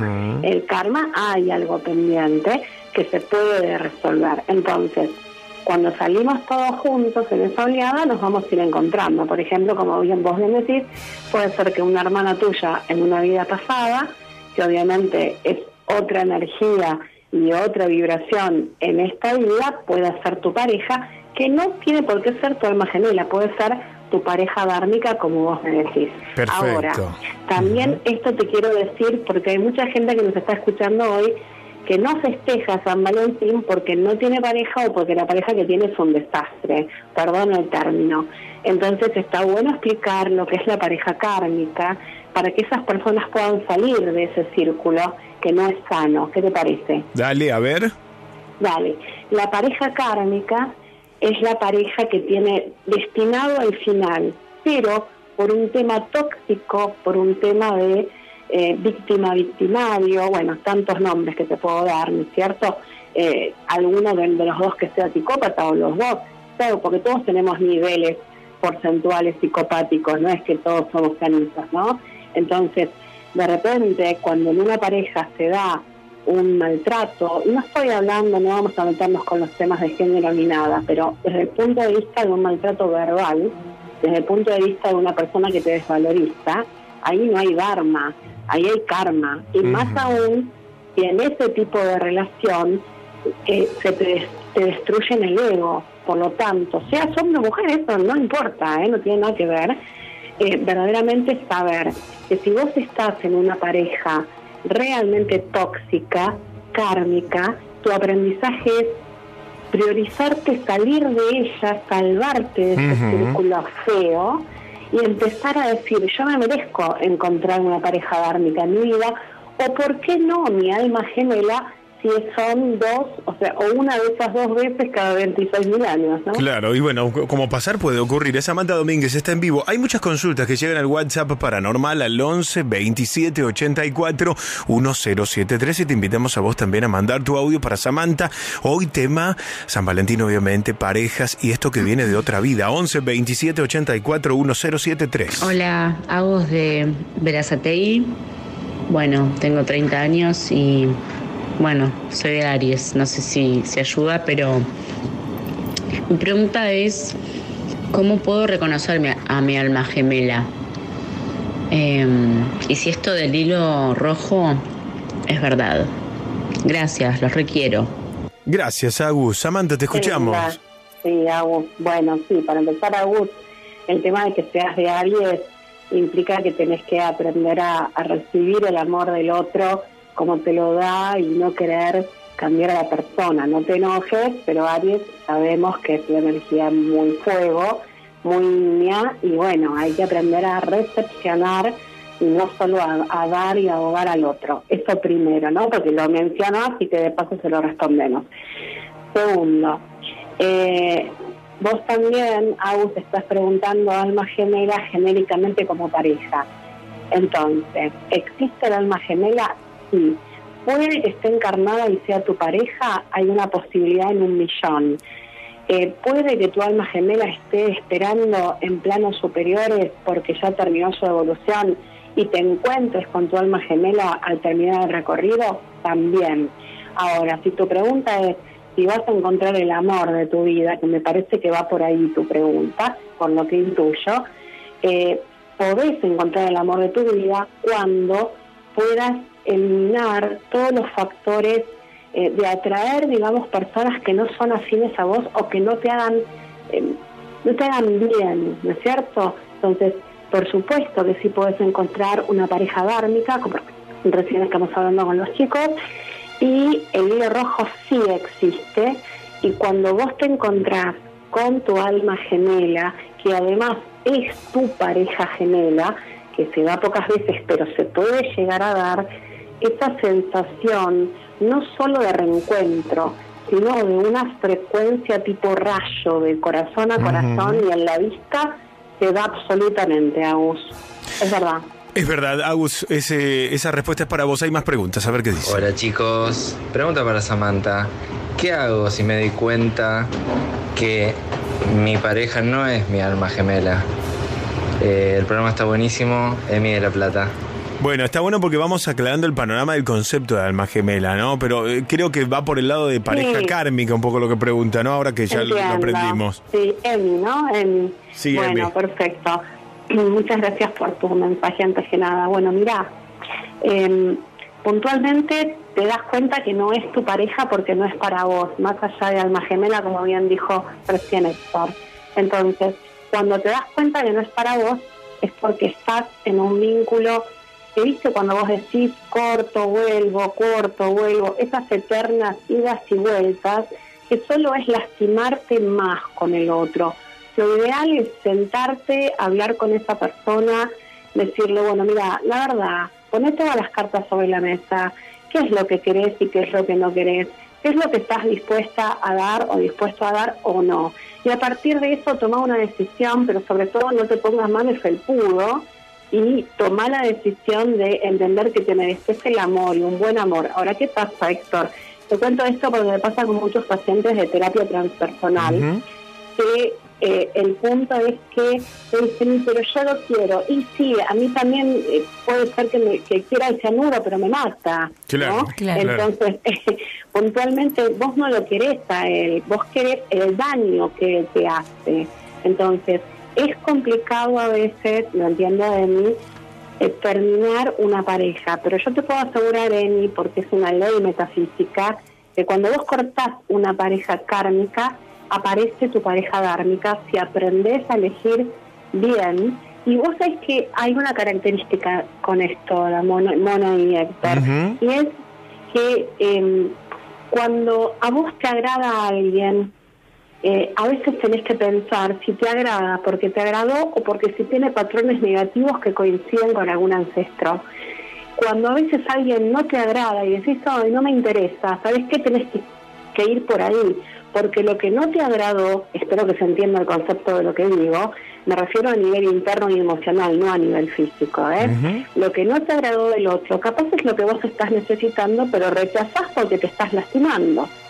Entonces Claro. hay que evaluar mucho eh, antes de elegir una pareja. Pero en el- la situación de Emi, podés darte cuenta que es una pareja kármica porque si pones en la balanza hay más menos que más. Por lo tanto, toma una decisión lo mejor que puedas y trata de pedir asistencia para sostenerte en el duelo, porque todo corte en una pareja es un duelo. Samantha Domínguez responde en vivo. Uno más a ver. Buenas tardes, Sami, ¿cómo estás? Mm, bueno, mi nombre es Fran, Francisco. Eh, te hago una consulta, que es lo que me, da como intriga. Existe, o sea, yo dejé de estar con una pareja hace ya un año, pero más allá de eso, tenía muchísima, muchísima compatibil- compatibilidad en muchas cosas. Y Además de, de eso, eh, aún siento como esa presencia, es como que no, no, no, no, no se va, es como raro. Y antiguamente teníamos como coincidencias así, tipo mentales. La pregunta es, para no serle tan larga, ¿existe que posiblemente en vidas pasadas eh, fuimos parejas y eso se arrastra a la vida normal de ahora? Bueno, esta es buena la pregunta porque empieza a unir todos los conceptos, ¿no, Sí, Samantha? está buenísimo, buenísimo, gracias. Bueno, puntualmente vamos a ir a lo principal, que es lo central que le está pasando, que es que siente como la presencia y la energía. Eso se llama eh, huevo áurico o aura de pareja. Cuando uno está en pareja hay un huevo áurico, lo mismo que cualquier vínculo que vos tenés con alguien muy seguido, se arma como un bioplasma, es una energía bioplasmática, acá estamos hablando bien técnicamente desde lo que son los chakras y los campos vibracionales, y en el caso de la pareja, lo que sucede es que tarda en disolverse, sobre todo porque lamentablemente nuestra cabeza nos ayuda a acordar de cosas buenas, pero no de cosas negativas cuando hacemos un duelo. Porque como intenta volver a eso, eh, es como, no sé si se entiende, como que esa energía áurica me lleva hacia el otro. Hay maneras totalmente de resolver eso. Hay un ejercicio que se llama cortando lazos emocionales que atan de, de Philip Crystal, ¿sí? que es una técnica transpersonal con la que trabajo con los pacientes, en donde vos podés desapegarte de esa energía bendiciéndola y deseándole lo mejor, no es nada negativo. Estamos cortando justamente los apegos. Después, si pudo haber sido una pareja en una vida pasada, sí, absolutamente pudo haber sido. Y quizás algo se interrumpió, te digo, en función de lo que me está bajando en este momento. ¿Cómo era el, el nombre del- de la persona? El nombre del, del último amigo, no creo que no lo dejó. No, no lo dejó. Ajá. Hacía la pregunta Bueno. directamente sin, Bueno, sin dar su perdón. identidad. Todo bien. Puntualmente lo que te digo es, eh, quedó algo inconcluso, sea porque uno de los dos haya, haya fallecido antes, sea porque se separaron por terceros, entonces en esta vida se vuelven a encontrar para resolver y cerrar eso y ya después se separan. No siempre tiene que ser que sigan juntos. Y Bien. después, ¿qué más preguntó? Lo primero que dijo, que tenían mucha compatibilidad. Sí, y Bueno, que se pensaban todo el tiempo, y que se pensaban todo el tiempo. También hizo referencia a eso. Claro, bueno, pero ya aprendieron lo que tenían que aprender juntos Claro. y ahora abrirse a lo nuevo. Un nuevo camino, claro. Una más, hay una más. Eh, para, che, me encantó esto del consultorio El en vivo. es eh. excelente. Sí, y para la semana que viene lo vamos a repetir: 11 27 84 1073. 11 27 84 1073. Y te digo que un día hacemos lectura de registros eh, abiertos, ¿no? Y quería hacerle una pregunta que es algo que, que nada, me tiene dando vuelta hace tiempo. Y, y mi pregunta es, ¿por qué mm, me pasa de que sueño todas las noches con mi ex? Yo ya no estoy con él hace más de cuatro años y es más, estoy por ser mamá de otra, de otra persona, ¿no? Eh, muchos dicen que por ahí es porque esa persona piensa en mí. Nosotros, si bien en ese entonces cuando estábamos juntos, eh, pasamos muchas cosas lindas y bueno, hubo hubo como una ruptura por cuestión de, de- de cosas que pasaron en el medio. La mamá de él era muy metida y bueno, iba mucho a los lugares esto de, de brujas y nada. Estábamos bien una semana y otra semana no. Entonces, eh, bueno, me queda la duda. Gracias. Gracias, tremendo. Este caso es el caso de, me animo a decirte, miles de personas que están escuchando. Eh, olvídate, olvídate, pasan por acá todos los días. Bueno, mira, primero y principal, no, no tengas dudas. Evidentemente esta persona, no me refiero a tu pareja, sino a la mamá que le deseamos el mayor bien y bien lejos, ¿no? Por lo que hace. Puntualmente, eh, como quien dice, se ocupó de vos. Ahora, eso lo vamos a transmutar en este instante, vamos a pedir la llama violeta para que se transmute porque vos estás embarazada y esto no es joda. ¿Sí? Le vas a pedir a San Miguel Arcángel corte y libere toda la la negatividad. Por supuesto, si querés me llamás y coordinás una entrevista conmigo, pero vos pensá en tu bebé, en tu marido y en tu futuro. Puede también que tu ex, puede que te esté pensando, pero yo siento que vivo más por lo otro que porque él te esté pensando, ¿entendés? Ahora, ¿cómo haces para protegerte de eso? Como te dije, pedís la llama violeta, aunque no sepas de lo que, de lo que estoy hablando, vos pedilo. Pedís la llama violeta, que igual lo pedimos ahora en este momento, a San Miguel Arcángel, que corte y libere por nueve, lo pedís, corte y libere toda esa negatividad y eso se empieza a disolver. Después, con los registros akáshicos avanzados, podemos trabajarlo. También hay una terapia floral específica de limpieza de energías negativas.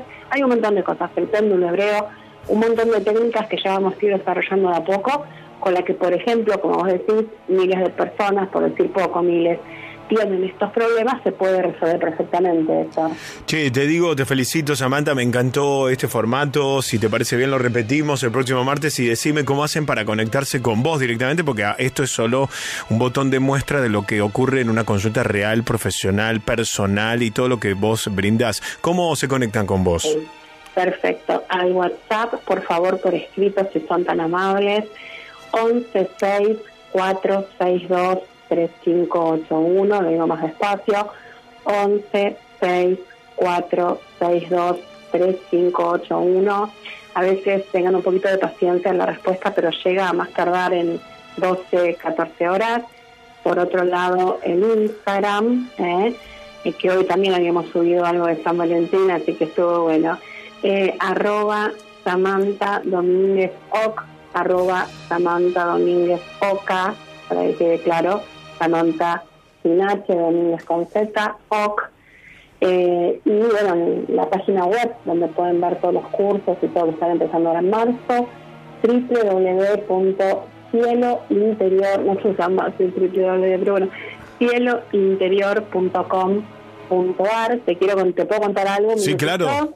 Bueno, eh, el viaje se completó, así que no hay más lugar para el viaje, pero Bueno. la gente que esté de vacaciones en Córdoba, Capilla del Monte, por supuesto, forma parte de Córdoba, todas las zonas aledañas de Córdoba y quieran venir, hay lugares todavía en la excursión, porque es una camioneta grande, así que para hacer la- los talleres sí hay lugar, no en el hotel, pero sí pueden hacer las actividades perfectamente.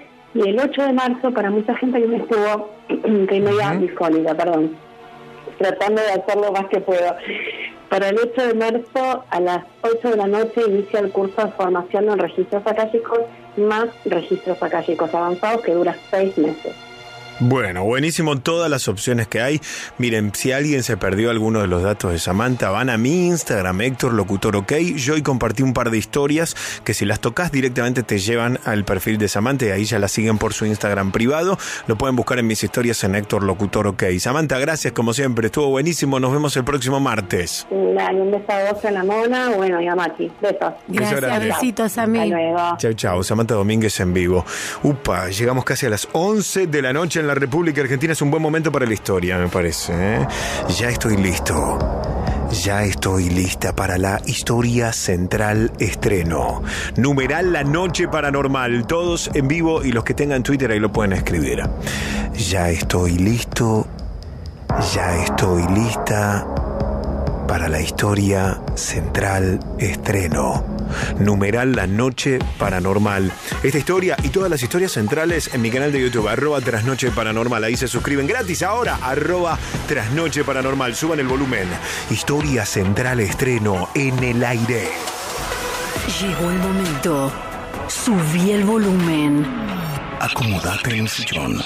O tapate hasta la cabeza con las sábanas. Héctor Rossi. Relata.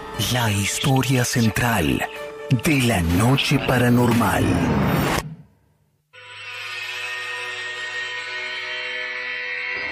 Esta es la historia real de Tesoro Maldito en primera persona. Soy del interior de la provincia de Corrientes. Fíjense ustedes que desde que soy un gurí vienen pasando cosas en mi familia. Hoy tengo 73 años. Nunca quise aceptar la realidad, pero cuando conocí este programa, el año pasado, cuando escuché las experiencias, me di cuenta que no soy el único que vive estas cosas. Cuando yo era chico vivíamos en el campo, cerca del río. Tengo fogonazos de recuerdos, como por ejemplo acordarme que mis tíos hablaban de una luz en el monte. Después una noche los vi partir a caballo y regresar cargando un cofre entre los dos. Al poco tiempo, mis dos tíos se enfermaron de golpe. La voz de mi abuelo sigue intacta en mi memoria. Vayan urgente y devuelvan eso que vamos a terminar muriendo todos, carajo. Mis tíos pasaron meses en cama y después murieron. Había sido que encontraron un tesoro. Mi familia era muy pobre. No tenían intenciones de devolver eso. Mandaron a llamar a un cura que bendijo el cofre con muchas monedas de oro. A todo esto, yo no creía en esas cosas. Mi mamá decía que seguro alguna víbora los picó en el monte a los tíos. Ahora que lo pienso, yo me comí ese cuento. Todos sabían que aquello estaba mal y se lo permitieron. Pobrecita mi hermana mayor, ella fue la primera víctima. Estaba recién casada. Mi padre le dio un poco del oro para que pueda comenzar una nueva vida. No duró nada aquello. Se los cuento el marido se puso paranoico, pensaba que le iban a robar el oro, decía oír ruido fuera de su casa, pero al salir no veía nada. Tomó la decisión de rondar con una escopeta fuera de la casa. Vayan a saber por qué o quizás fue la maldición.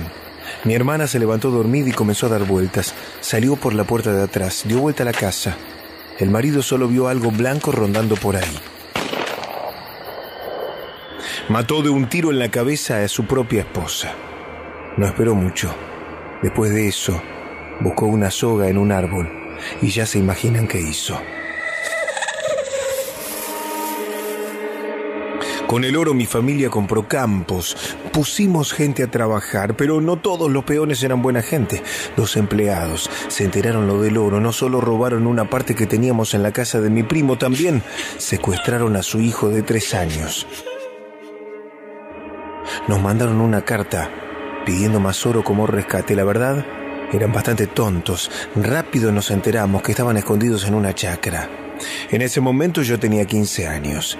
El comisario me dio una pistola y fuimos todos. Nos costó entender bien qué pasó ahí. Primero nos pusimos como locos. Mi primito estaba con una bala en el cráneo. Los otros dos también muertos a tiros. Según el comisario, los malandras esos comenzaron a pelearse por el oro, se mataron a los tiros y una bala le pegó al nene. Fueron muchas tragedias. Otro de mis hermanos murió ahogado en la laguna. Uno de mis parientes recibió 15 puñaladas cuando lo confundieron con un amante ajeno. A mi abuelo una tarde lo encontraron desvanecido, tenía ya 80 años. Pensamos que se había muerto de viejo, pero poco después encontramos un frasquito de veneno y una nota que nos dejó. Yo les advertí, me voy solo, no me van a llevar los fantasmas. Cuando cumplí los 25 no quedaba nada de aquel oro, apenas nos quedaba un campo, hubo muchos malos manejos, mi padre también se envició con las apuestas. Me acuerdo que le debía un fangón de guita a un misionero. El tipo lo andaba buscando con otros dos. Mi padre agarró su caballo y fue a esconderse al monte. Yo tuve que mediar con ese delincuente. En reposición de su dinero le entregué siete caballos. Al rato mandaron a buscar a mi padre. Cerca de la noche volvió un peón cabalgando. Traía a mi padre. Ya de lejos lo vi muerto. Estaba blanco y su mano colgaba inerte. Agarré una escopeta como para buscar al misionero, pero antes que haga una desgracia, el peón me mostró que mi padre tenía el tobillo oscurecido e hinchado. Lo había picado una serpiente. El oro, como dije, se terminó, pero la cosa no acabó ahí.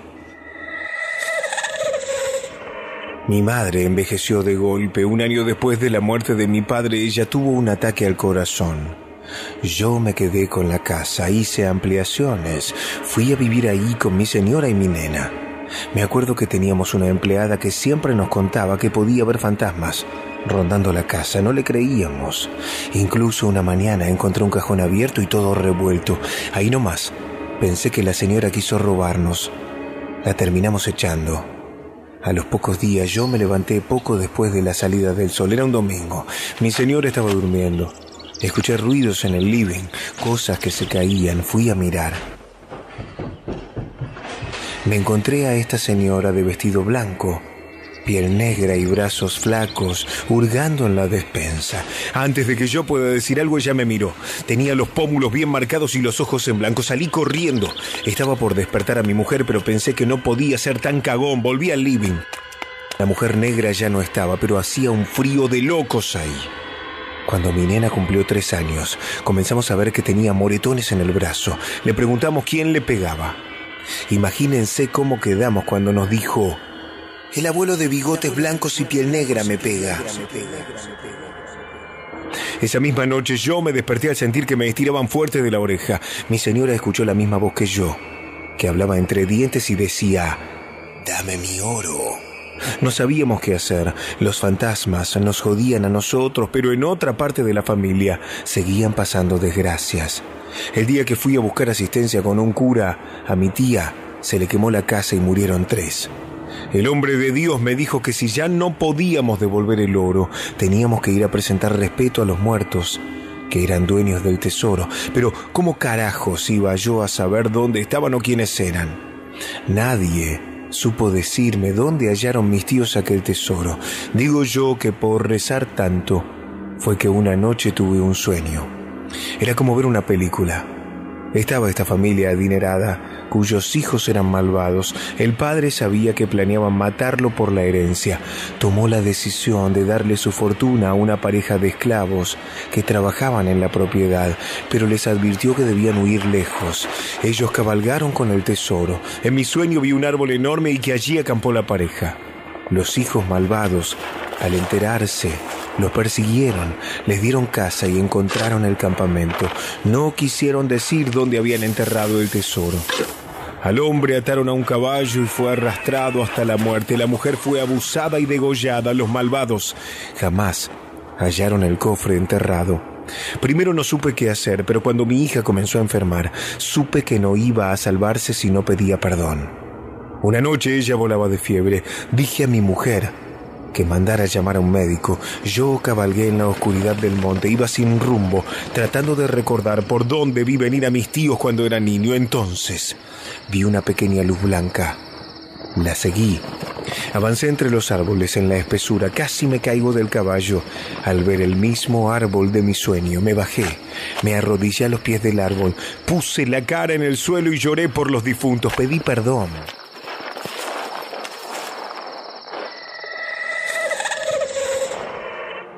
Cuando volví a mi casa, ya estaba el médico.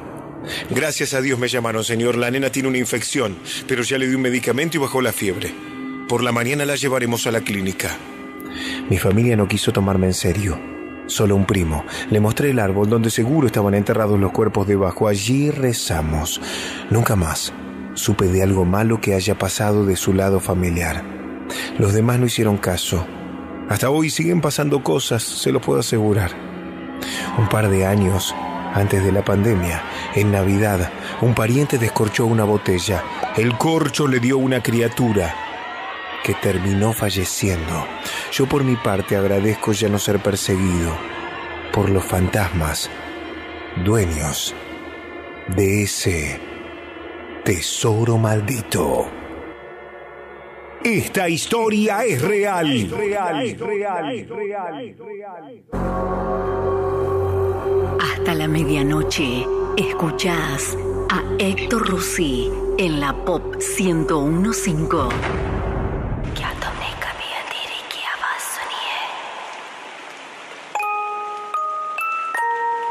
Hola, buenas noches. Les hablo acá desde Chile. Mira, te voy a contar una historia que sucedió por allá en los años 1950 en Santiago de Chile, para el campo, para allá, para Colina, y le sucedió a mi mamá. Ella vivía en una casa de campo donde había una galería eh, larga que llegaba desde el comedor hacia las habitaciones. Y en la habitación del fondo había una señora que ayudaba en la casa, o sea, dormía ahí, y era una señora que eh, vivía en la calle y la abuelita de mi mamá le había dado un techo, ya la había como recogido de la calle y le había dado eh, techo para vivir. y mi mamá, chica en ese tiempo, niña, eh, se hizo amiga de esta señora, ya y se llevaban, se llevaban bien. Esta señora se llamaba Valdora. Un día eh, la señora se enfermó y se fue al hospital, quedó hospitalizada porque ya tenía edad.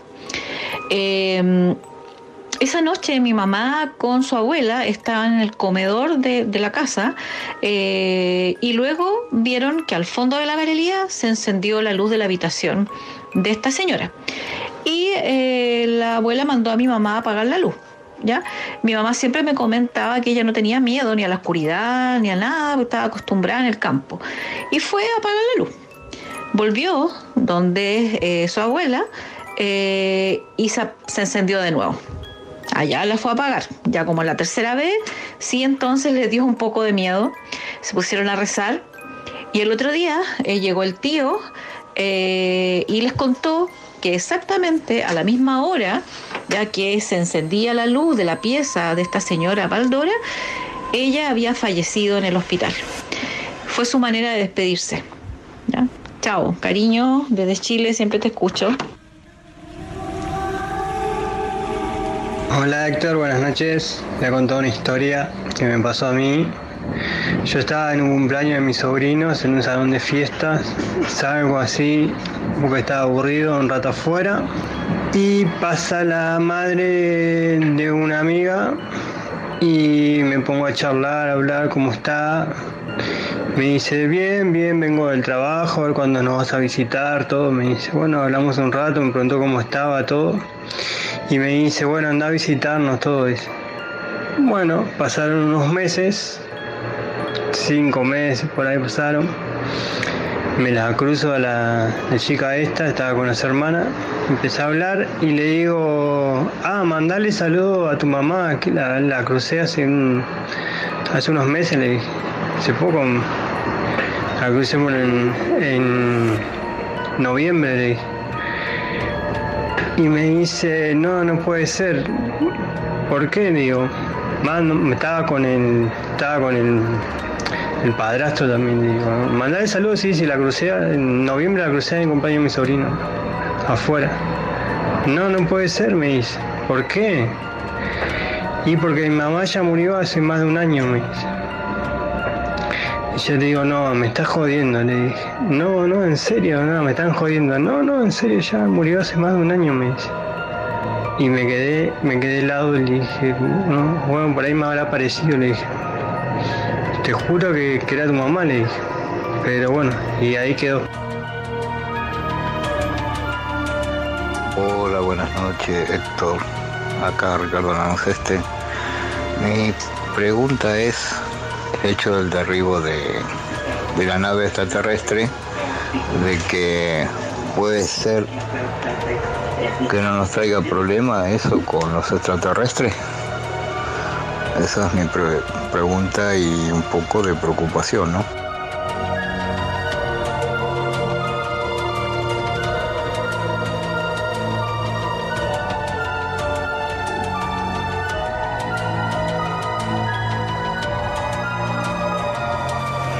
Yo te digo, a las 11 de la noche, 17 minutos, lo que planteaba el oyente, más allá del el tipo de prejuicio que pueda tener cualquier persona, hablando de la posibilidad, primero de vida extraterrestre y después si esto de derribar objetos voladores no identificados no puede generar problemas con otra vida inteligente o con seres de otro mundo que tal vez tengan que ver con esas con esos objetos voladores no identificados. Viene como anillo al dedo para abrir el consultorio porque él también sabe del fenómeno ovni, porque él ha escrito libros y casi que lo conozco tanto que puedo suponer la respuesta que nos va a dar. Él es parapsicólogo, doctor en psicología social, magíster en psicoanálisis, mago blanco, escritor, conferencista y mucho más. Es el maestro Antonio Laceras y está en vivo con nosotros en este martes. Hola Antonio. Pero muy buenas noches, Héctor. Muy buenas noches. En este tan especial día de San Valentín. Sí, señor. Además con eso, ¿no? Como, como contención, como atmósfera especial. Eh, ¿Escuchaste lo que decía este oyente último antes de salir al aire Sí, con vos? sí, sí, sí, porque estoy escuchando el programa desde hace un rato, pero vamos a, a lo último que dijo nuestro oyente. Y, y aprovecho para responder. No se engañen, voy a decirlo tres veces, no se engañen, no se engañen. Estos derribos que están ocurriendo en Estados Unidos, en Canadá, ahora leía uno en Francia, otros lugares, no tienen nada que ver con lo que nosotros llamamos vehículos extraterrestres dirigidos. Eh, los vehículos extraterrestres dirigidos tienen una maniobrabilidad tal, y esto está demostrado desde hace décadas y décadas, que ni los mejores misiles, ni aviones, ni equipamientos que tenga China, Estados Unidos, Rusia o quien sea, pueden hacerle frente. Les lanzamos un misil y le hacen ole, Claro. siguen tranquilos. Eso es como un escarbadiente a un automóvil. Exactamente, acá voy con el escarbadiente, voy a romper este auto, te va a pasar por encima, Claro. te va a destrozar. Así que no, lo que esto tiene que ver, y es- esto es lo que hay que estar alerta, es algo que ya hace algunos años anunció el Papa Francisco cuando dijo que estábamos viviendo la Tercera Guerra Mundial. La Tercera Guerra Mundial no es hoy necesariamente lo que está pasando con la invasión de Rusia a Ucrania, donde hay eh, tanques, donde hay infantería, la guerra en el viejo estilo. Hoy hay drones notables, eh, estos globos como el primer globo que derribó Estados Unidos enviado por China, este, los- cada una de las potencias tiene sus elementos y algo ha pasado que han decidido eh, vamos a empezar a derribarlos. Mm, bien. Eh, pero esto no tiene que ver ni con lo paranormal ni con los vehículos extraterrestres dirigidos. Esto tiene que ver con cosas graves que están pasando en el mundo y que se van a ir advirtiendo, no digo los próximos años, en lo que va de todo este 2023. Es Antonio Laceras, está en vivo con nosotros. Antes de abrir el consultorio, eh, primero te invito a dejar los datos, pero antes de eso, felicitarte por lo, por lo que pasó el domingo, que tuviste un encuentro a propósito de tus libros y de mucha gente que te hizo referencia a la noche paranormal, ¿no? Mira, realmente es digno que le dediquemos dos minutos a nuestros leales oyentes, porque tal como habíamos anunciado el jueves pasado, hubo una feria del libro solo el domingo pasado en San Telmo. Y acá lo anunciamos, yo dije que iba a estar en esa feria de 17 a 19, eh, que los esperaba, que estaban mis libros, todo con todo gusto. Pero la verdad que el domingo a las 17 horas en San Telmo hacía 40 grados de sensación térmica. Eh, fue el peor día, ¿eh? Sí. peor día.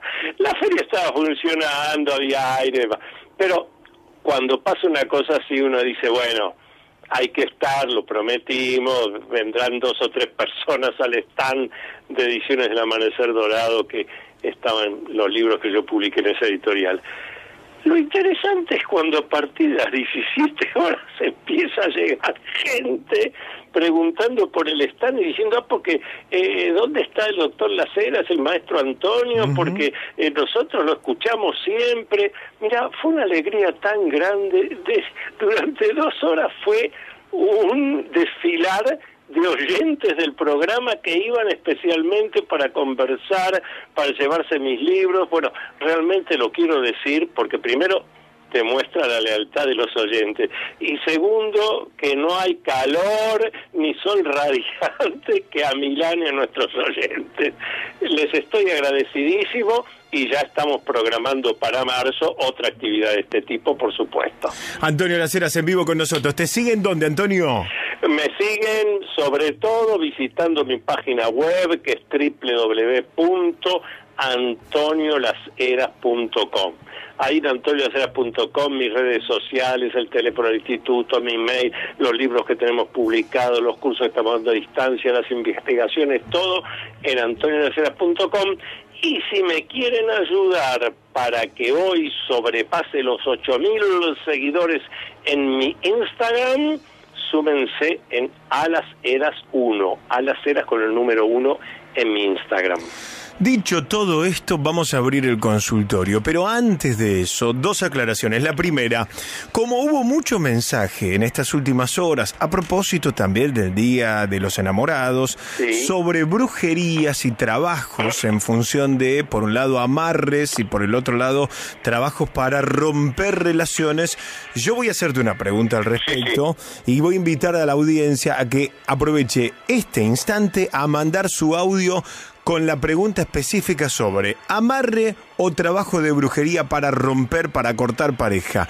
Si tenés alguna duda, si estás viviendo una situación así, este es el momento a las 23.24 de grabar tu audio de WhatsApp de menos de un minuto, por favor, y envíalo ahora al 11 27 84 1073 para Antonio, para que lo responda ahora mismo también, en este mismo bloque. 11 27 84 1073.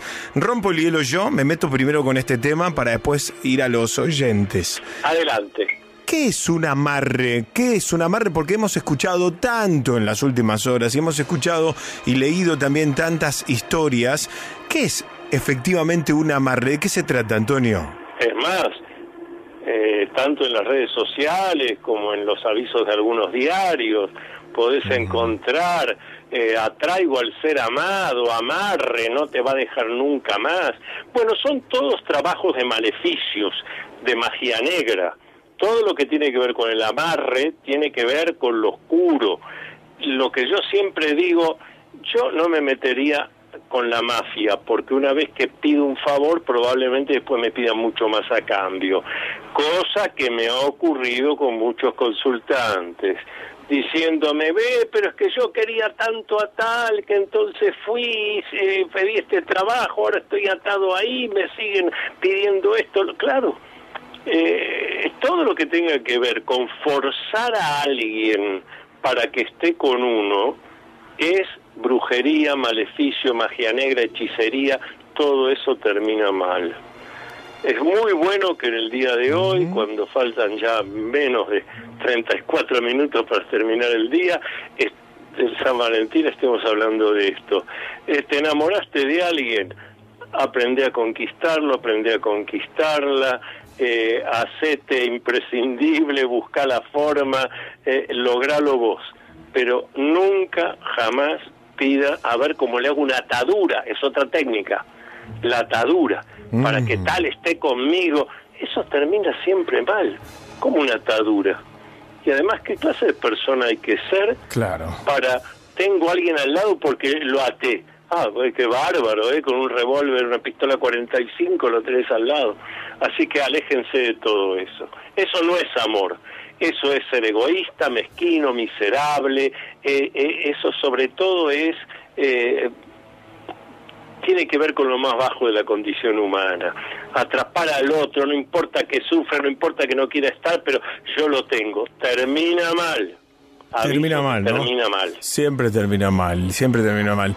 Es Antonio Laceras en vivo. Esto ocurrió anoche en el programa. Estaba hablando con alguien que me cuenta una historia y en un momento de su relato me dice esto es para que me lo conteste Laceras. Entonces, a partir de ese momento, yo le repregunto, grabamos la transmisión, cortamos ese pedacito para que vos lo puedas escuchar y responder ahora en vivo. ¿eh? Escuchen, por favor. Mira, yo tengo, eh, a mí a veces me pasa que capaz en el remis me pasa que capaz que puedo hablar con el pasajero, lo más bien y la otra hace dos días me pasó. No, me, me contó, mi hermano falleció de tal manera, la verdad, pero no, yo siempre tuve dudas del fallecimiento de él. Y a mí, de adentro mío me salía a decirle, sí, pero él no se mm, suicidó porque se tenía que suicidar, él- le hicieron que se suicide y fue tu cuñada, la, la esposa de él, que está, es así, así, así, a través de brujería. Cuando me describió la mina, eh, digamos, lo que sería la cuñada, la, la chica esta puso los dos ojos blancos, se quedó pálida. ¿Cómo, ¿Cómo la conoces? Pero a mí me salió decirlo. O sea, a vos te Eh, vino, la- cuando te está contando el pasajero esta historia del suicidio, a vos te viene toda esta información y vos se la decís. Claro, yo se la dije, y así me ha pasado un par de veces. Yo siempre, mm, ya, yo siempre, eh, al- al- siempre traté de ayudar al que si necesita algo y yo no tengo, si te pongo una mano te la doy. Yo siempre fui así. Eh, o sea, sí, obviamente en ese momento a mí me fue mal y bueno, nadie me ayudó, pero no importa. Yo con eso no me quedé rencoroso. Pero vos qué nadie. querés preguntarle a Antonio, ¿por qué Y tenés este le quiero don? preguntar, ¿qué así es? ¿Sabe la posibilidad de que tenga ese don? Sí, no. O para mí más que sí, ¿no? Pero bueno, si es eso, ¿cómo desarrollarlo? Si- Bien, si bien. tengo la oportunidad de ayudarlo, voy a hacer, obviamente, yo en ese, en ese sentido. Perfecto. Bueno, la pregunta te agrego un poco más de contexto. Sí, pero está clarito. Remisero sube una pasajera, le cuenta la secuencia en la que se había suicidado su cuñado y este hombre, el chofer del auto, a este hombre le viene esta información y le dice, mira, ocurrió esto, no se suicidó porque sí, sino que pasó esto. Y a la pasajera le resuena la historia como verdadera y él dice, mira, a mí me vino esta información, yo fui un canal que bajó, es un don, ¿qué puede hacer con esto? Te pregunto a vos. Claro, eh, nuestro oyente tiene desarrollada de manera natural sus capacidades parapsicológicas extrasensoriales, sobre todo telepáticas y clarividentes. Entonces está captando cosas que las otras personas no tienen necesidad de decirle. Él lo capta y lo capta tal como lo está diciendo, de una manera natural, no forzada. Él no busca eso, le sale de adentro. De la misma manera que alguien que tiene el don de la poesía dice, no, mira, yo no me siento 10 horas a pensar, te hago una rima en este momento y sale la rima. Bueno, eh, son capacidades. Ahora, él pregunta muy bien, ¿cómo hacer para poder seguir ayudando con esto? Y yo a todos los que tienen habilitadas sus facultades parapsicológicas, sea de clarividencia, sea de telepatía, de precognición, la gente que dice, pero yo capté que iba a suceder tal cosa, se lo avisé. ¿Cómo pude haber sabido algo que, que, que, que no estaba, en- eh, no era en el presente? Bueno, todo esto que son capacidades parapsicológicas, primero estudiar la teoría, hacer el curso de parapsicología, porque entonces cuando uno conoce por qué el fenómeno funciona como funciona, uno está tranquilo, puede desarrollarlo sin dificultad, pero en el caso de nuestro oyente está clarísimo que ya lo tiene habilitado. Lo que le falta es el conocimiento teórico para él solo entender por qué pasa lo que pasa y poder hacer lo que está buscando, que es ayudar a los demás. Más preguntas para Antonio Laceras en el WhatsApp, a ver qué dicen. Hola Héctor, ¿cómo estás? Buenas noches. Eh, una pregunta para el doctor Laceras.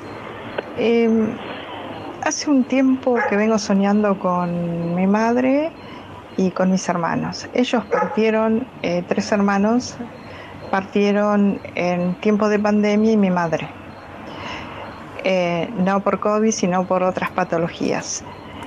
Eh, y tengo sueños con, con mi madre, tengo charlas y, y cuando despierto es, es como que se fuma, no, no está. Y hoy a la hora de la siesta eh, soñé con uno de mis hermanos y tuvimos también una charla y cuando despierto abro los ojos ya no, no se encuentra. Eh, quiero preguntarle al doctor a qué se debe esta, estos sueños este, y si tiene alguna explicación. Este, bueno, muchísimas gracias. Eh, Remy de Trenquelauquen. Gracias, amiga de Trenquelauquen, Antonio. Los sueños siempre tienen una explicación y los sueños, la mayoría son psicológicos. Hay algunos parapsicológicos, pero la mayoría son psicológicos. Por ejemplo, en este caso está claro que nuestra oyente, Remy de Trenquelauquen, todavía no ha hecho el duelo. Han sido unas pérdidas de seres queridos muy fuertes, muy repentinas, muy recientes, no ha hecho el duelo y entonces el sueño asume una forma compensatoria, se llama en psicología. El sueño compensatorio es aquel que nos da lo que en la vida cotidiana ya no podemos. Por ejemplo, en este caso, encontrarnos con alguien que ha desencarnado. Hay más preguntas para Antonio Laceras en vivo. Buenas noches, Héctor. Eh, totalmente de acuerdo con lo que estoy escuchando del doctor Laceras. Eh, estos seres extraterrestres que se han mostrado con la tecnología que poseen, realmente si hace rato nos hubieran querido hacer daño, creo que hubiéramos desaparecido como humanidad porque nada podemos hacer contra eso. Así que totalmente de acuerdo. Bueno, acá este, una opinión, ¿no, Antonio? Una Sí, mirada. pero aprovecho para ampliar. A lo largo de toda la historia de la humanidad, mitos, leyendas, libros sagrados, todos demuestran que en la remota antigüedad, seres de otros mundos, esos que venían del cielo y que fueron confundidos como dioses, nos dieron cultura, nos dieron información, nos ayudaron a desarrollarnos como humanos. Así que no hay, no hay, en el único lugar donde los extraterrestres vienen a atacarnos, a agredirnos, etcétera, es en las películas de ficción. Pero lo que la historia de la humanidad demuestra es que somos resultado de lo que ellos nos han legado. Bien. Hay más, a ver qué dicen. Yo quería hacer una pregunta al doctor Antonio Laceras. Yo me acuerdo cuando yo era muy chico, él hizo un experimento con un metal que le hizo girar al sentido de las agujas del reloj y cuando lo giró en contra, hizo un pequeño movimiento eh, eh, rarísimo hacia el sentido en contra donde lo había girado él. Salió en un video de Conozca Más, me parece, cuando fue el accidente de Roswell. Eh, pregunta, doctor, espero que me pasen al aire.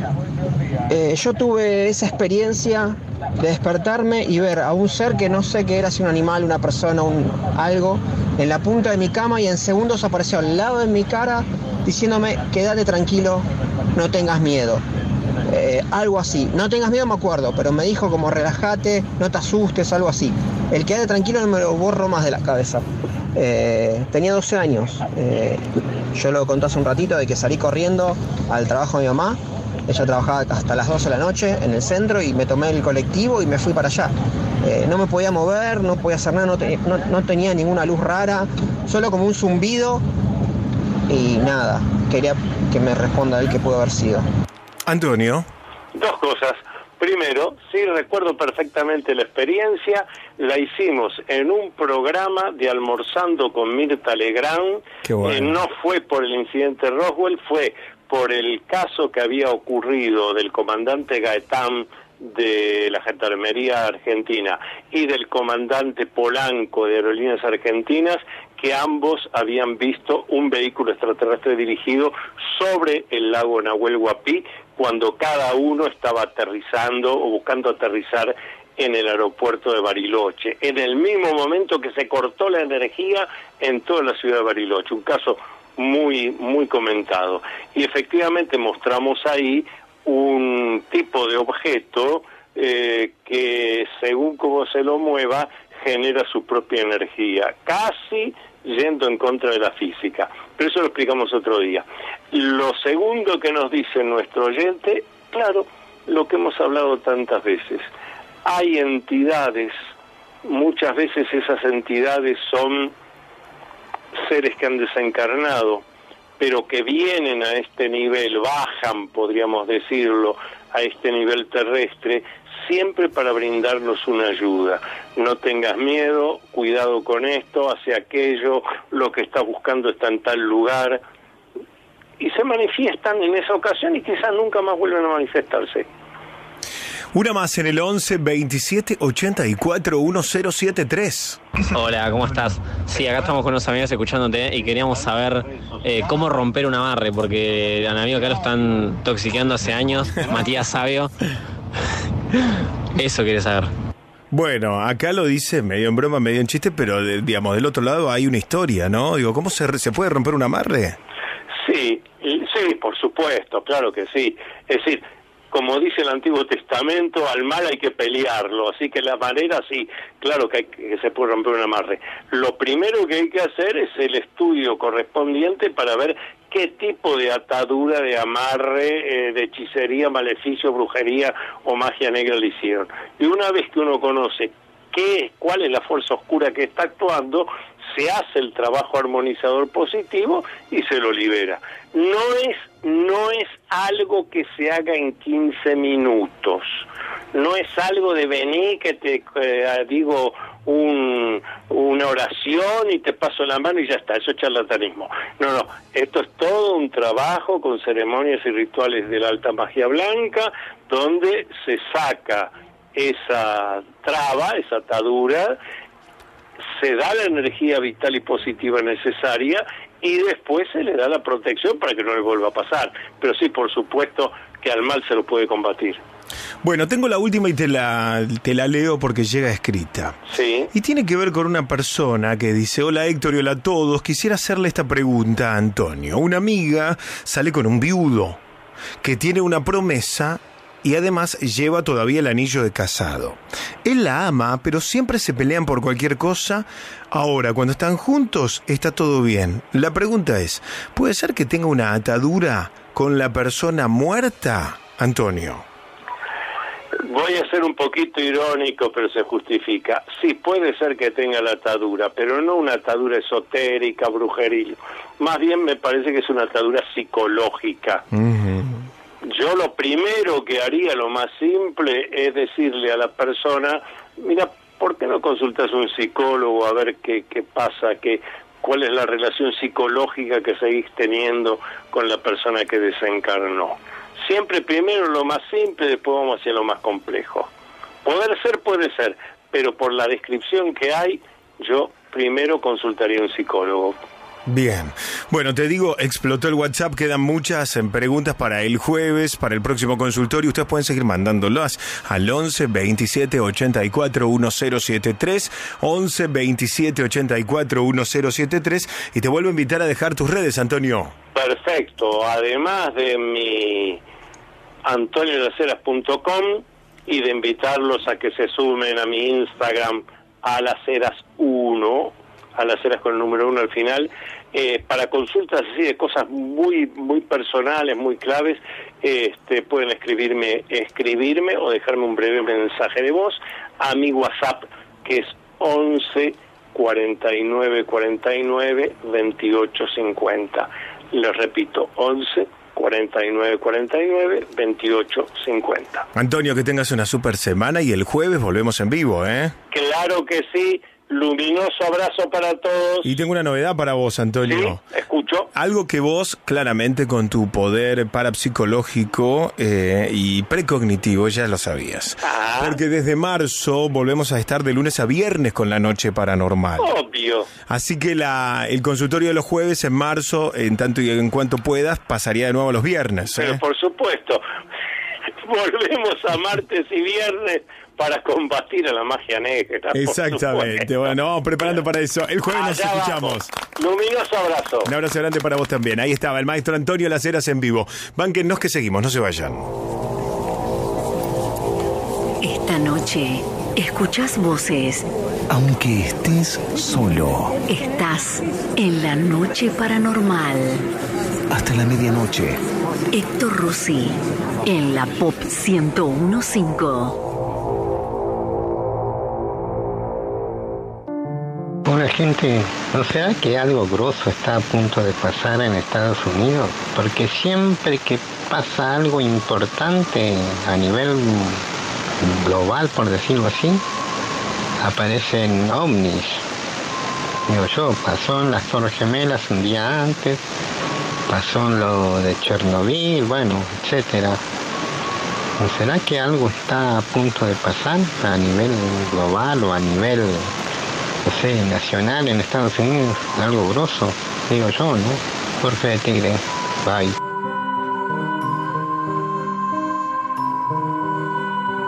A nosotros nos pasó. Eh, creo que hace un año atrás. El tema del espejo nos pasó. eh, de la aparición así de manos. Otra apareció una mano como que deslizó los dedos.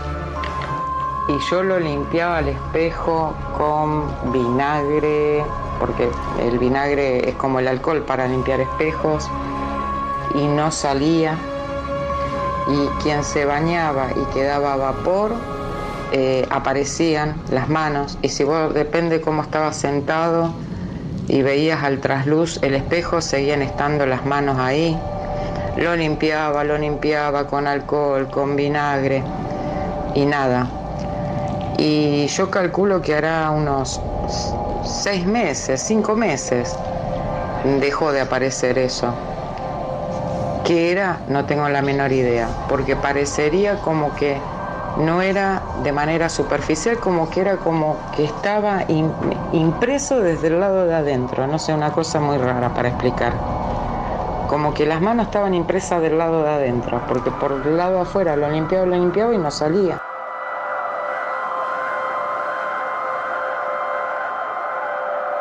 Once 2784 1073.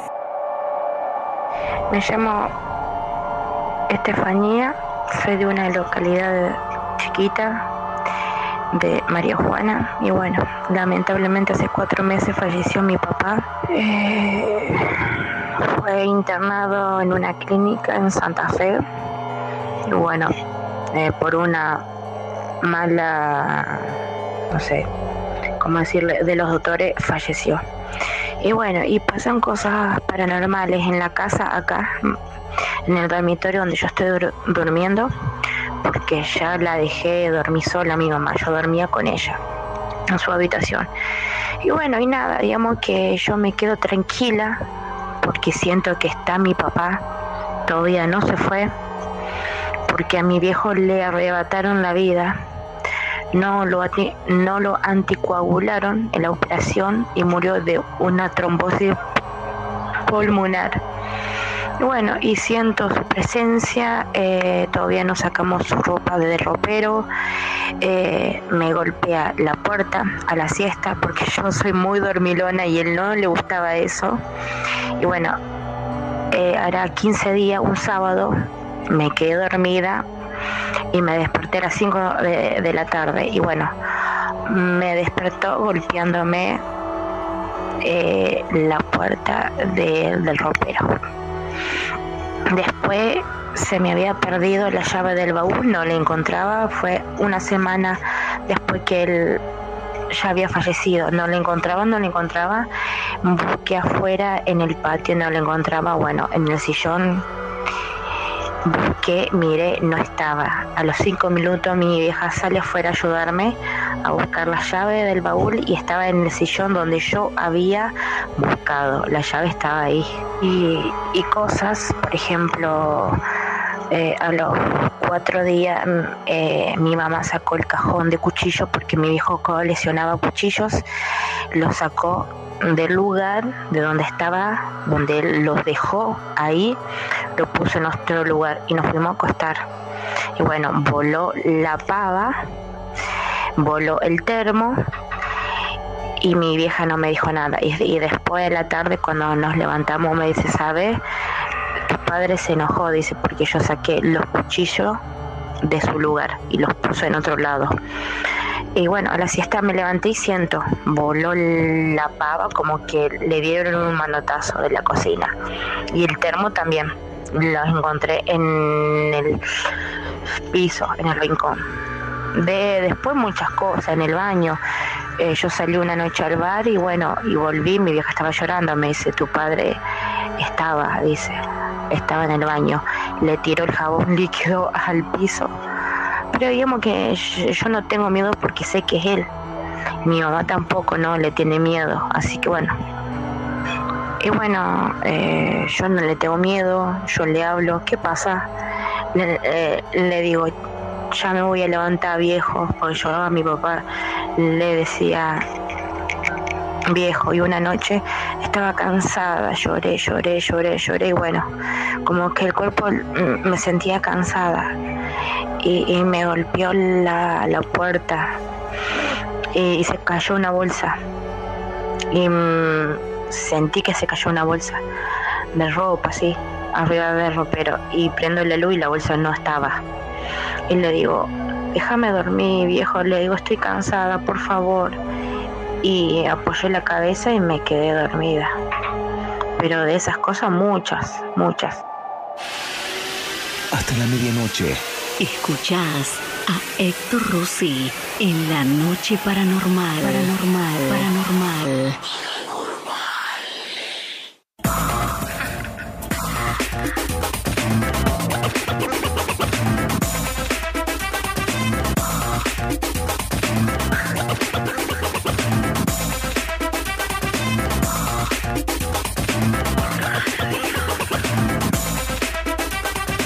Hola, buenas noches Héctor, feliz cumple, te saludo desde San Juan, el remisero, el remisero loco de San Juan. Hace mucho te mandé un mensaje cuando estabas en Bebana, así que contándote una historia, pero bueno, eh, solamente te quería mandar un saludo enorme.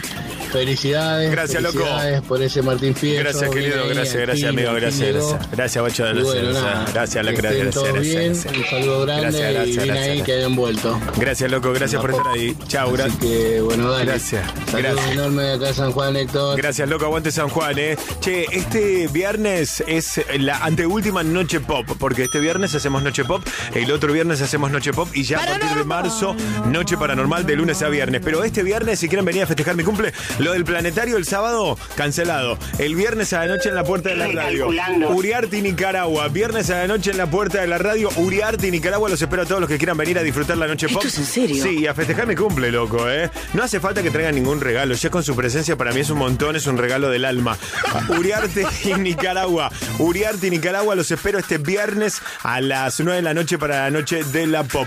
Bienvenida maquinando a la Argentina. ¿Cómo andamos? Muchas gracias. Bien, ¿vos? Bien, ¿cómo pasas? Ah, ahora me vas a contar cómo pasaste, pero para, hay más gente ahí que dice nada. Adelante, pasen. Sí. Esta es la historia real de Héctor, el viagrero Rossi, verdad. en primera persona.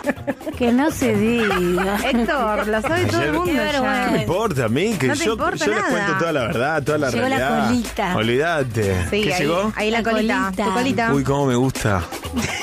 Goloso. Sí, me encanta. ¿Está tiernita? Sí. Eh, sí, déjame ver. Colita con papas. Uh. Hay que verla, ¿eh? Colita con aroma. papas es el menú de esta Ay, noche Dios, de qué Héctor rico. Locutor OK. Y como solo y duermo solo, ¿eh?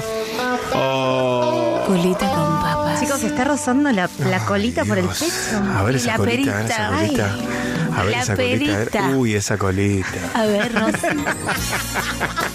Ay, arrancó Chayane, tú. Me doy, me doy asco yo mismo. Sí. Ay, esa colita, esa colita. Sí. Me vas, es un boludo al lado mío, ¿eh? Bueno. Encima tu tono, Héctor. A ver esa colita, a ver esa Ay, chicos, te está tocando la colita encima. Arrancó la colita, Porque además tengo que decir algo. Uy, no hay una nada más pinta, lindo. un aroma. ¿Para qué voy a hacer una historia? Porque tengo, tengo muy en claro que si solo están escuchando la radio van a ver una cosa y si luego van a mis historias de Instagram Vean otra. van a ver otra cosa. Arroba Héctor Locutor OK, arroba Héctor Locutor OK. Lo que más me gusta a mí, porque la colita, la colita es sagrada. Y hay una, una instancia cuando vos estás cerca de la colita o cuando la colita se te acerca, porque a veces la colita es la que se te Se te acerca a Te pide, vos, te obvio, pide. pedigüeña. que todavía no la conoces. Entonces, Claro. el descubrir la colita es como una. A ver, a ver, a ver. Uy, Dios, mira Qué esa colita. colita. A ver. Por favor, que la gente entre al Instagram ya de Héctor. ¿Me dejas que la huele un poquito? Y, Ay, ay, no, es fuertísimo esto. Mm, esa colita. Nos Dios van a mío. sacar del aire. Me encanta. Bueno, la acabo de subir a arroba Héctor Locutor OK porque es una colita con papas. que miren ¿eh? la colita Colita ahí. con papas de Sí, enfrente. me encanta. ¿Es mechada? Es Y debe mechada. ser mechada. Eh, y te quedaste sin el vacío que comimos la mona y yo hoy. Me dejaron con un vacío enorme. Sí. me acabas de decir, en el estómago. ¿Cómo está Héctor, bárbaro, Estoy en mi eh? mejor momento, ¿no? Sí, podemos agradecer eh, No. el- Sí, ¿a quién? ¿A quién? ¿Sí ¿Es importante? ¿Quién hay que agradecer? a las empanadas de Miu. Che, eh, punto y aparte la colita, damos De vuelta a la página, ¿eh? Gracias. No agradecemos a la colita. No, a la colita no porque se pagó. Gracias a Sergio de mi gusto. Aplausos a Sergio. Por las empanadas espectaculares que nos mandó. Y Bravo, provolone. La de jamón y queso, la de Verdura verdura. con queso riquísimo. Eh, yo me las llevo, eh, las empanadas. sí, me las sí, llevo, sí, eh, sí. porque Quedó intacta las cajas. tengo el ritual de frizar empanadas de mi No, gusto. no quedó intacta, yo me comí dos. No, alguien que se comió un par. Mentira eh. que te comiste después el plato que nos clavamos. Sí, sí. Ah, Sí, bueno, pero las de mi gusto que, no se pueden olés- dejar olés pasar. la empanadita y Sí, decís, también eso, clavo. ¿eh? Sí. La de verdura está muy buena, la de carne cortada a cuchillo está Yo me espectacular. comí una de jamón y queso. Y la de matambre te recomiendo también.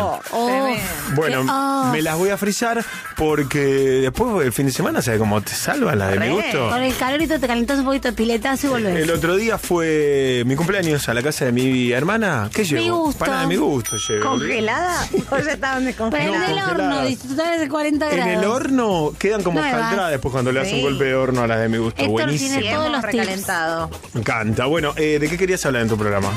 No, no tenía tema. ¿No tenías nada de tema? Se me acaba de ocurrir algo Te para la radio. sorprendés como si trajera el No. tema, me mata. Se me acaba de ocurrir algo. Un juego. Dale, me encanta. La gente tiene que adivinar cuál es el objeto que tengo en la mano y yo solamente voy a voy a darles el sonido del objeto. ¿Qué tengo en mis manos? Pero les tenemos que dar pistas. Ay, porque ay, Es bueno no. Campañolo como operador, me doy cuenta. A veces no me doy cuenta lo bueno que Lo es. bueno que ¿Sabes es. cuándo me doy cuenta lo bueno que es Campañolo? Cuando no viene.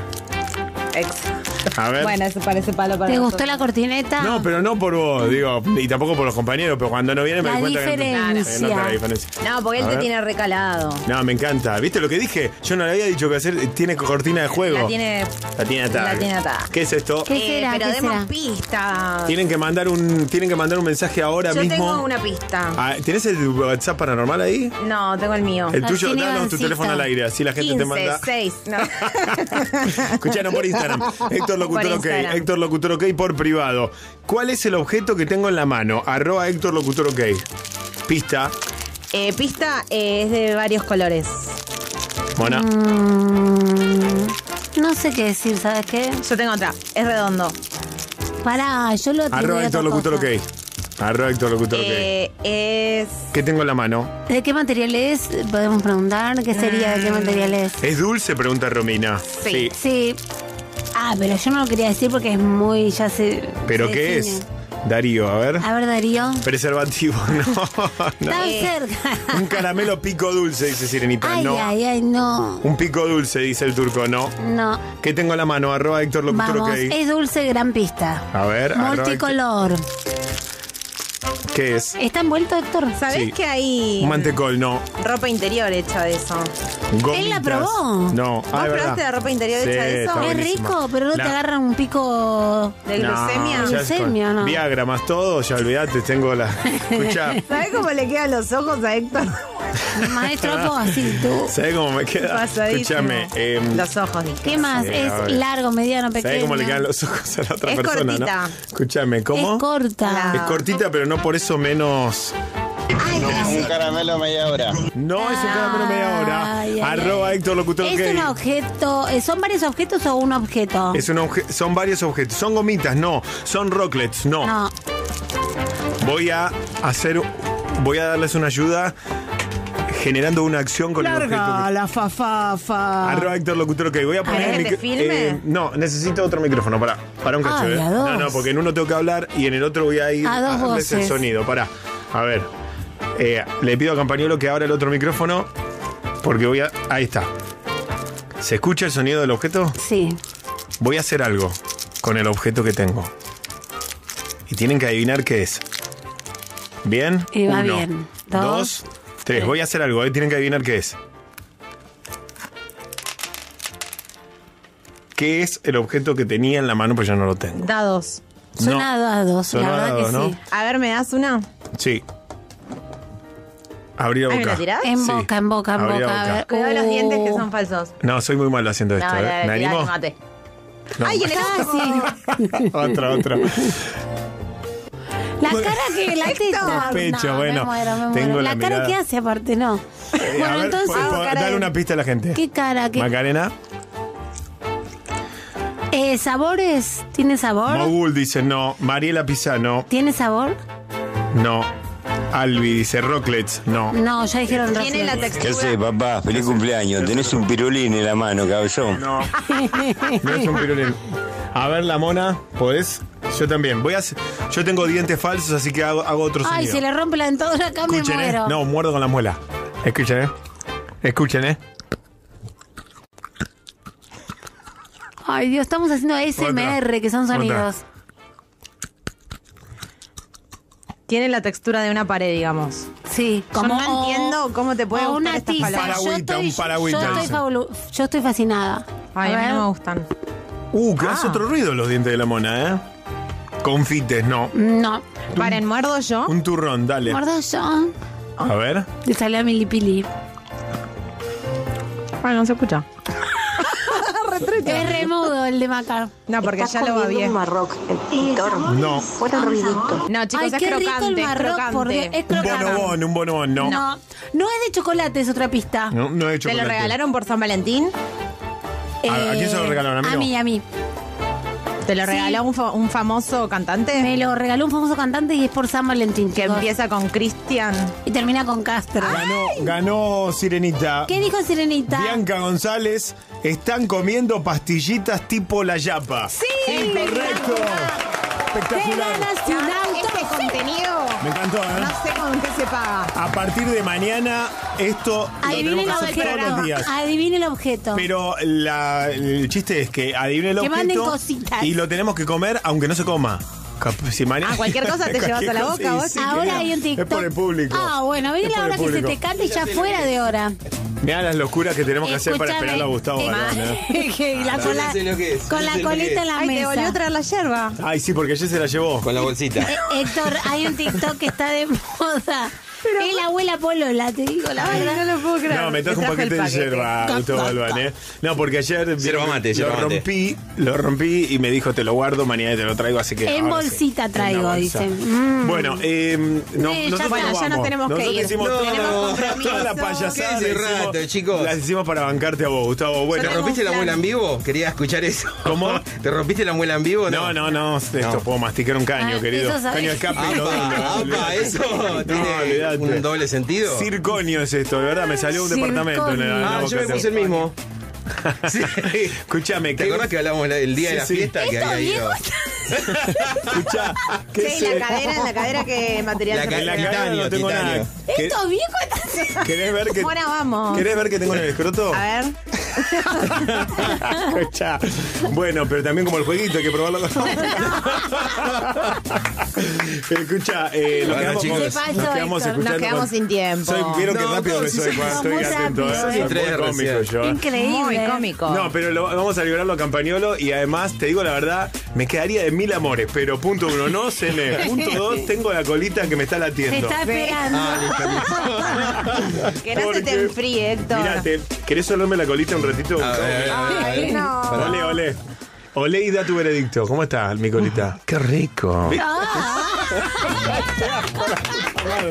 Somos inclusivos y deconstruidos, pero Sí, Divino, pero todo da un poco de divino. impresión. es muy fuerte. Todo para adelante, Conociéndonos chicos. da impresión. Por bueno, favor. mañana nos vemos. eh, Gracias por venir. Dale, Mona, un que Dios te ayude. placer. Mañana, ¿qué, qué, qué programa haces? ¿De la negra? La noche para No, fíjate, me dije la negra. Yo La vendría. Mona Pop, pónganle la Mona Pop y venía a ser de la negra. Estaría re bueno, se le doy una idea a los directores de la A radio ver. y después sigue.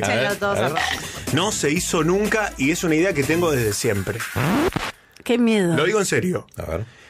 Para mí, una buena estrategia en función de que la gente escuche la radio, la Pop 1015, Sí. sería un día en particular. Es más, ya estoy ocurriendo, se me está ocurriendo la artística. Eh, tal día, la Pop se volvió loca. Hacemos un intercambio de conductores. Entonces, Me yo voy a conducir la negra pop. La negra conduce la noche Paranormal. Me. El Listorti conduce, Conduce no Luisito sé, Piñeiro. lo de Piñeiro. La, la trasnoche, chicos. Bueno, la trasnoche. Bueno, pero pará, ¿no estaría bueno? Sí. Pero este sería el formato para mí. Con la onda de cada programa. Todo el equipo del programa. Solo cambia el conductor. No, no, no. Todo el equipo hace el otro programa, pero hace el programa que le toca, no el que hace siempre. Por ejemplo, si a mí me tocara hacer la negra pop, vamos nosotros a hacer la negra pop. ¿ok? Y no hacemos nada de la noche paranormal. No, no, hacemos la negra pop. Si le toca a la negra venir, la negra, el árabe o Sturce hacen la noche paranormal. Sturce, yo hago de la. Barbie. No, no, me parece es, es una idea genial. No sé, La verdad, lo tiro, lo tiro al aire. Te ¿eh? pagan muy poco para, para estar haciendo estas Lo tiro al aire, lo tiro al aire porque me parece que está buenísimo. Entonces, tal día, tal, eh, tal programación. ¿Vos qué programa querés hacer, Todo Héctor? mezclado. ¿Qué- qué programa me gustaría estar en la mañana. Ah, La el de negra Petinato. El de Petinato. Me gustaría en el- hacer el de ¿Y Petinato. vos, y vos, Gusti, qué programa? La trasnoche. No, pero escuchame. No, no, cualquier programa. Cambiás con Listorti. Cambio con Listorti, listo. Me encanta. Listorti. Bueno, listo, escúchame. Listorti todo. Bueno, mañana entonces nos vemos, Mona. Nos ¿eh? vemos, como te siempre, el mismo canal. Mañana, Maca, tenés que venir, ¿eh? Bueno, voy a venir. No, ¿qué está haciendo? Bueno, muy bien, escúchame. Menos mal que no fumás lo- de lo otro. Escucha. Es un pedo natural. Gracias, Gustavo, verdad. Por venir, básicamente es el un turno de él. Mañana traigo si No, quieres. Aprecian hace el efectos en vivo. A ver. Claro, no aprecian el arte. A ver, a ver, a ver. Efectos en A vivo. Porque hay oyentes que a veces escucho que están haciendo esto cuando salen en vivo. ¿Cómo es? A Bueno. ver. No. Lo dijiste falso. Escúchame, eh, nos despedimos con una ronda de efectos con la boca, ¿eh? Y la gente Upa. tiene que adivinar cuál es el sonido que hacemos. A lo Mac Phantom. Dale. ¿Bien? ¿Se acuerdan de Mac, de Mac Phantom? No, yo soy muy joven. Oh, vamos para la guerra. Vienen en el helicóptero. Ay. ¡Cuidado, capitán! Eh, me sale igual, ¿eh? Me sale igual. Sido el último. Me Héctor. Sale igual. No, yo rompo el hielo y les muestro. Ahora, un efecto de puede ser un objeto, un animal, una máquina, un sonido del cuerpo humano. Mona. Mm, La señora que hizo que Un vio los perrito. duendes, que vio un, perri- un perrito era. Sí. Un Soy perrito. Jenny. A ver, un poco más. Pero un perro que le Ven, están apretando el perrito. huevo. Y bueno, chicos. Hacé, hacé el olfatido. El... Tipo chanchito. Chancho salió al final. Tenía un poquito de Espectacular, moquillo, ¿eh? parece. Sí, sí. Eh, Gustavo. Eh, yo te hago el descorche de una, cerve- de una Por sidra. favor. Ahí está, mira.